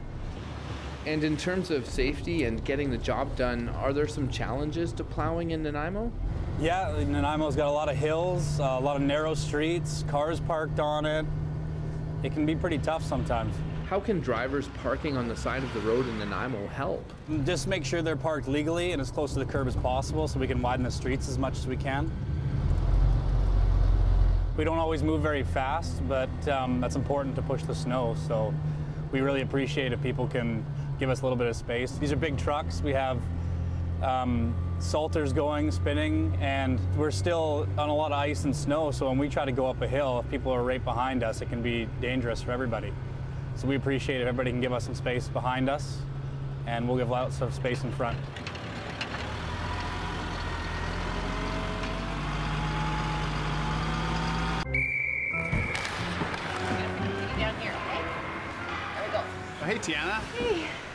Sure is the coldest rink in town.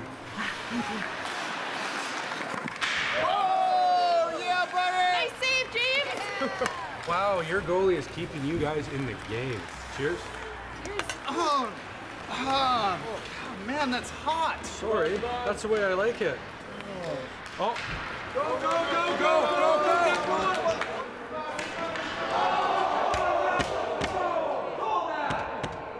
Penalty shot!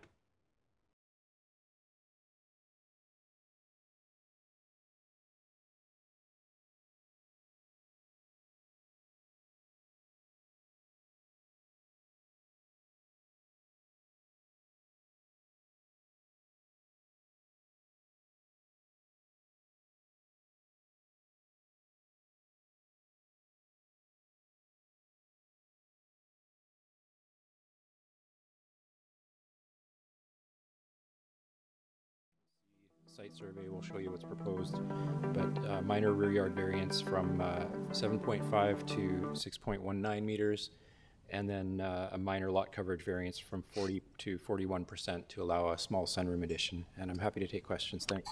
Uh, Thank you, Mr. Holm. I don't suspect we're going to have a lot of questions on this. Counselor, is anyone here who wishes to speak to this matter? I'm not seeing anyone. Moved by Counselor Hemmens, seconded by Counselor Perrino. All those in favor? Any contrary? None. Motion carries. Thank you. The next is Development Variance Permit Application Number DVP 4400-2592 Departure Bay Road. Again, Mr. Holm, please. Uh, Thank you, Your Worship. Uh, um, Again, another minor variance uh, request. Uh, This is related to a minimum uh, flanking side yard setback uh, to be varied from four meters to two meters uh, for proposed uh, single uh, dwelling unit on uh, property at uh, 2592 Departure Bay Road, uh, which is adjacent to unconstructed road within Strongeth Arm. Attachment C, the site plan will show you, um, you can see the property on the overhead, and there's the survey plan showing the proposed location. Two dwelling units are are supported on the property of this size, given the zoning, and a requested flanking side yard uh, variance is requested for uh, the one closest to the unconstructed road, as you can see uh, overhead. Happy to take questions. Thank you. Thank you very much. I'm not seeing any questions. Is there anyone here wishing to speak to this item? Not seeing anyone. Councillor Hemmens moves the recommended motion. Councillor Manly seconds. Any discussion? All those in favor? Any opposed? None. Motion carries. The next is rezoning application number RA 477-5645 and 5655 slash 5657 Metral Drive. Mr. Holm again, please. Uh, Thank you, Your Worship. Uh, This rezoning application is from uh, DHK Architects, and uh, it's uh, rezoning from uh, R1, two existing parcels. One is zoned R1, one is zoned R4, and the proposal is to rezone to R6 with site-specific uh, floor area ratio of 0.75 and uh, site-specific maximum uh, permitted building height of 13 meters. And the request is sup- to support a, um, the- in concept, and if you could please bring up um, uh, attachment C, you'll see conceptual building uh, renderings there in concept. What is a, uh, a 22-unit uh, ground-oriented residential development on Metral Drive. Uh, This is in keeping with a couple of themes that we've talked about um, uh, this past year, and one is in relation to development along Metral Drive. You're seeing um, uh, investments in the complete street along Metral, resulting in uh, desire for uh, development like this and uh, housing form in a ground-oriented uh, multifamily um, type that is supporting a need in the community for more affordable, family-oriented housing of that of that type. So, supported by city plan, the OCP policies uh, for the area. Um, recommended to be secured with the rezoning our uh, road dedication, uh, community amenity contribution of $1,000 uh, per unit directed towards active transportation improvements. Uh, And that community amenity contribution is recognizing that um, uh, this application came in prior to council's new community amenity contribution policy that came into effect of January of this year um, and as well a commitment to BC Energy Step Code or a low carbon energy system um, commitment uh, in, in line with council's policy, as well as lot consolidation are all uh, recommended conditions of uh, rezoning. Happy to take any questions. Thank you. Uh, Thank you very much, Mr. Holm. I'm not seeing any questions. Councillor Thorpe, pardon me. Thank you, Your Worship. Sorry, I just got something in my eye there. It's not that emotional. No, well, it, it was emotional because I, I drove to visit this site on the weekend. I had the pleasure of uh, making my way down Metral Drive. Metral Drive. I, I, I wanted to, I wanted to ask, uh, uh, on my uh, agenda, it's the bottom of page 74 under City Plan Mobility Network. Uh, I just wanted a clarification and make sure I was reading this properly. So we're talking about increasing the density along Metral Drive at this particular site. Uh, But we are asking for, or recommending a 0.3 meter road dedication to be provided to fulfill half of the difference required to achieve the full right-of-way width. So when it says in my report that Metral Drive is designated as an urban collector road, uh, and we're increasing density, but we actually have to get a road allowance because, because of the, the redesign of Metral, it's no longer wide enough to be considered an urban collector road. Am I correct? Um, Through your worship, I'll try and uh, speak to that. I know it's a very minor um, additional road dedication. So through the. Very minor road dedication is right. I'm not disputing that, and I'm not disputing the recommendation overall of the development, but I'm very curious that we've, we've uh, modified an urban collector road in an area of increased density so that it now is, is too narrow to be considered an urban collector. And uh, I realize that's rhetorical, I'm sorry. Thank you. Did, would you like me to speak to that or? I'd love, yeah, I'd love, I'd love you to. Sure, thanks. So uh, when we, um, so the, the road is designed to its ultimate standard and, uh, but it was designed when, when we're, the city undertook the construction of the road and did have to do property acquisition as well. I'm not sure in the case of this property if acquisition was required, but we would have worked um, as, as much as possible to, to fit the, um, the design into the existing road without um, necessitating property acquisition. Here, we have an opportunity through, uh, through rezoning uh, to get the ultimate uh, dedication, which um, is 25 meters uh, for, the- for the right-of-way in that area.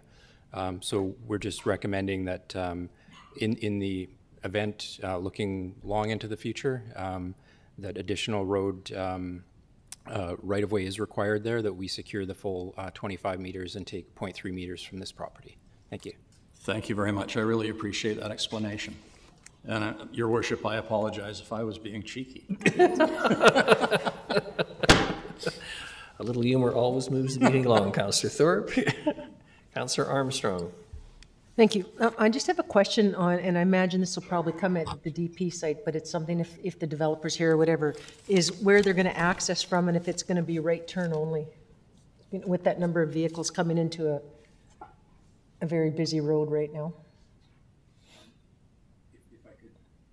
Sorry, if I could, through your worship.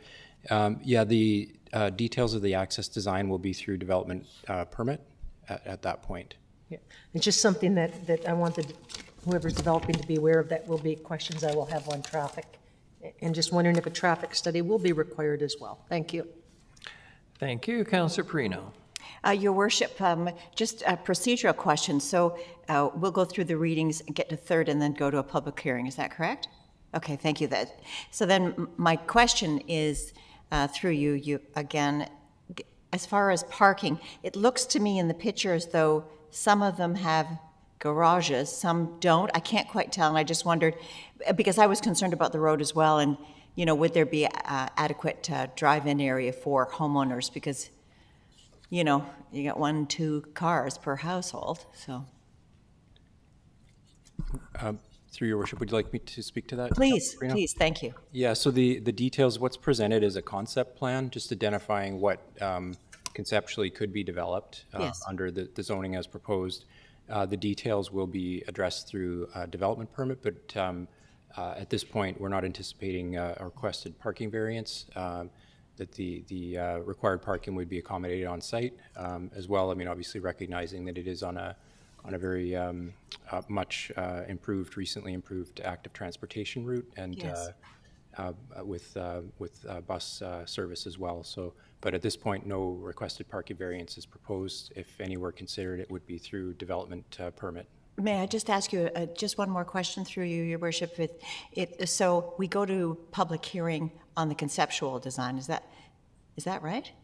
Because I, I- I'm just having a little trouble. So we're going to hear from the public, and all they're seeing is a concept. Yeah, if I could, through your worship, yeah, staff would not be proposing to secure any uh, design at this point. It would be um, uh, what the zoning would support. Um, So it would support something similar to this. If the rezoning were approved by council, ultimately, uh, a development permit would be required before, uh, before development of the site took place. And the detailed site uh, design and, and uh, considerations um, with regard to bylaw compliance would be considered through that process. Okay, thank you. You're welcome. Thank you very much. Counselor Hemmens, please. Thank you. I believe this is one I have to read.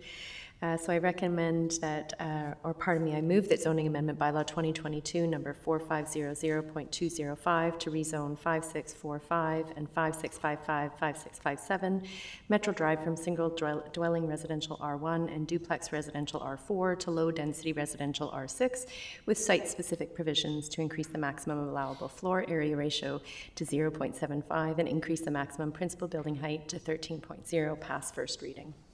Seconded, Counselor Thorpe. All those in favor? Any opposed? None. Motion carries. I move that zoning amendment bylaw 2022, number 4500.205, pass second reading. Seconded, Counselor Armstrong. Any discussion? Seeing none. All those in favor? Any opposed? Motion carries. Thank you. Counselor Hemmens. And I move that council direct staff to secure the conditions, excuse me, related to zoning amendment bylaw 2022, number 4500.205, as outlined in the conditions of rezoning section of the staff report dated 22 22 November 21, should council support the bylaw at third reading. Seconded, Counselor Thorpe. All those in favor? Any opposed? None. Motion carries. Next is covenant amendment application number CA 18-514-540 Halliburton Street, 120 Needham Street, and 575 Nicol Street. Mr. Holm, again, please. Uh, Thank you, Your Worship. Uh, This proposal is for a covenant amendment application, and uh, what, um, uh, maybe I'll just touch on um, uh, council's uh, policy that is in place with regard to covenant amendments. Uh, So in this case, the re- uh, covenant was secured through a rezoning in 1996 uh, that binds a number of the property titles. Uh, There was an additional covenant that was put in place uh, in 2005 related to a parking uh, requirement, an off-site parking requirement for a um, a liquor store that was proposed at that point. Um, But with regard to the uh, council policy regarding covenant amendment applications, so through rezoning, if a covenant is secured through rezoning, council's policy um, requires that either the covenant is considered, uh, covenant amendments considered through a public hearing, um, or that um, that uh, a uh, notification similar to a development development variance permit. So that would be a mail out and uh, hand delivery uh, notification takes place prior to the covenant amendment um, proceeding. So either a public hearing uh, or a, a notification similar to development variance permit. So that's council's policy. Uh, given the nature of uh, the covenant amendment proposed here, um, staff is recommending that the uh, notification process can uh, proceed similar to a development variance permit. So notification by mail out and delivery. Um, What's proposed here is to uh, release the title binding um, covenant from the properties uh, in question, and as well as the, the covenant that secured parking off-site, and, and then actually to, uh, to secure, to bind the titles to the two properties fronting on um, Nicol and uh, Needham Street. The properties I should have mentioned overhead, they front on uh, Nicol, Needham, and Halliburton. So the two properties fronting on uh, Nicol and Needham, if council were to approve this, uh, would continue to have their titles bound with registration of a new covenant. Um, uh, The existing covenants would otherwise, otherwise be removed from the four properties. Uh, What what this would allow is uh, development consistent with um, city plan, with the OCP going forward. Uh, The designation for these properties, uh, residential corridor for the properties fronting on Nicol Street, and then neighborhood center for the properties fronting on Halliburton Street. So uh, in summary, the proposal uh, would allow for the properties to be redeveloped in a manner consistent with city plan, the OCP, and uh, happy to take questions um, if you have any. Thank you. Uh, Thank you very much, Mr. Holm. Counselor Armstrong? Yeah, I just have a question. So if, if we do this and then for some reason it's already zoned for, for a pub, correct, and, and liquor, liquor store, can they come back in and do that now because we've got rid of, rid of those covenants? Now they don't have to require the parking? Uh, Part, sorry, I I missed part of that, but I believe if I caught enough of it, your worship, uh, if they were to put a liquor store in place, they'd have to provide parking um, on site. No, I realize that, but my point is, right now, we've, there- there- the purpose behind the covenants was to ensure there was always the proper parking for the pub, et cetera, right? So if we remove that requirement, and then they decide that they want to build another pub there, um, is there a mechanism that we can ensure there's still appropriate parking, since there's no street parking anyplace in the area? Um, uh, Yes, through your worship, actually, since that time, so that was 2005 that that uh, covenant was put in place, and there is no operating um, liquor store, there's no business that actually utilizes that parking now. But uh, since uh, 2005, with the adoption, I think it was in 2018, 2017, of the current uh, parking bylaw for the city, the parking bylaw actually allows um, off-street parking uh, or parking to be bri- provided um, off-site, so on another parcel, provided it's secured by covenant. So Thank they you. could enter into another covenant arrangement uh, if they need to, to secure off-site parking. I mean, the odds are it's going to be residential, but thank you. Thank you very much. Councillor Hammond moves the recommended motion, seconded. Councillor Armstrong. Any discussion? Seeing none, all those in favor? Any opposed? None, motion carries. Thank you very much. We're now on to bylaws. Zoning Amendment Bylaw 2021, number 4500 decimal 196. Counselor Hemmens, please. Thank you. I move that zoning amendment bylaw 2021, number 4500.196, to rezone 6033 and 6053 Nelson Road from single-dwelling residential R1, duplex residential R4, low-density residential R6, and Parks and Recreation and Culture 1, PRC 1, to low density, low density residential R6 and medium density residential R8, and Parks, Recreation, and Culture 1, PRC 1, to allow a multifamily residential development be adopted. Seconded Councillor Thorpe. All those in favor? Any opposed? None. Motion carries. The next is Sewer Regulation and Charge Amendment Bylaw 2022, number 2496 decimal 36. Councillor Hemmens, please. Thank you. I move that Sewer Regulation and Charge Amendment Bylaw 2022, number 2496.36, a bylaw to include a provision that points to the Appeals Procedure Bylaw and other housekeeping amendments be adopted. Seconded Councillor Perrino. All those in favor? Any opposed? None. Motion carries. The next is Flood Prevention Amendment Bylaw 2022, number 5105 decimal 01. Councillor Hemmens. Thank you. I move that Flood Prevention Amendment Bylaw 2022, number 5105.01, a bylaw to include a provision that points to the Appeals Procedure Bylaw and other housekeeping amendments be adopted. Seconded, Councillor Perrino. All those in favor? Any opposed? None. Motion carries. The next is Waterworks Rate and Regulation Amendment Bylaw 2022, number 7004 decimal 19. Councillor Hemmens. Thank you. I move that Waterworks Rate and Regulation Amendment Bylaw 2022, number 7004.19, a bylaw to include a provision that points to the Appeals Procedure Bylaw and other housekeeping amendments be adopted. Seconded, Councillor Thorpe. All those in favor? Any opposed? None. Motion carries. Item E, Management and Protection of Trees Amendment Bylaw 2022, number 7126 decimal 02. Councillor Hemmens. Thank you. I move that Management and Protection of Trees Amendment Bylaw 2022, number 7126.02, a bylaw to include a provision that points to the Appeals Procedure Bylaw and other housekeeping amendments be adopted. Seconded, Councillor Perrino. All those in favor? Any opposed? None. Motion carries. F, Property Maintenance and Standards Bylaw 2022, number 7242 decimal 02. Councillor Hemmens. Thank you. I move that Property Maintenance and Standards Bylaw 2022, number 7242.02, a bylaw to include a provision that points to the Appeals Procedure Bylaw and other housekeeping amendments be adopted. Seconded, Councillor Armstrong. All those in favor? Any opposed? None. Motion carries. The next is uh, Business License Amendment Bylaw 2022, number 7318 decimal 01. Thank Or you. did I skip? No. Thank you.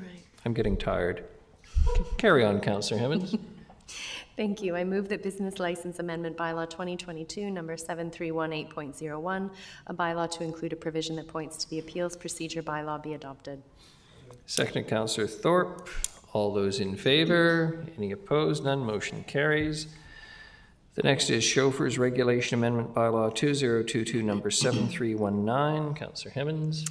Thank you. I move that Chauffeurs Regulation Amendment Bylaw 2022, number 7319, a bylaw to include a provision that points to the Appeals Procedure Bylaw be adopted. Seconded, Councillor Armstrong. All those in favor? Any opposed? None. Motion carries. And finally, I, Bylaw Notice Enforcement Bylaw 2022, number 7159 decimal 17. Councillor Hemmens. Thank you. I move that Bylaw Notice Enforcement Bylaw 2022, number 7159.17, a bylaw to correct references to bylaw provisions and address fine inconsistencies be adopted. Seconded, Councillor Thorpe. All those in favor? Any opposed? None. Motion carries. We have no notices of motion. We have no other business. Do we have something on question period? Thank you very much. Uh, Gabriella Reinhold on 12A. I believe she has left. And we have a Carrie Waters without indicating an agenda item. And I'm going to assume Miss Waters is left as well. We're just not that interesting anymore, are we? No questions? A motion for adjournment, please. Moved Counselor Perrino, seconded Counselor Manly. All those in favor? Any opposed? None. Motion carries. Thank you very much, everyone. Appreciate your attendance tonight, staff and all.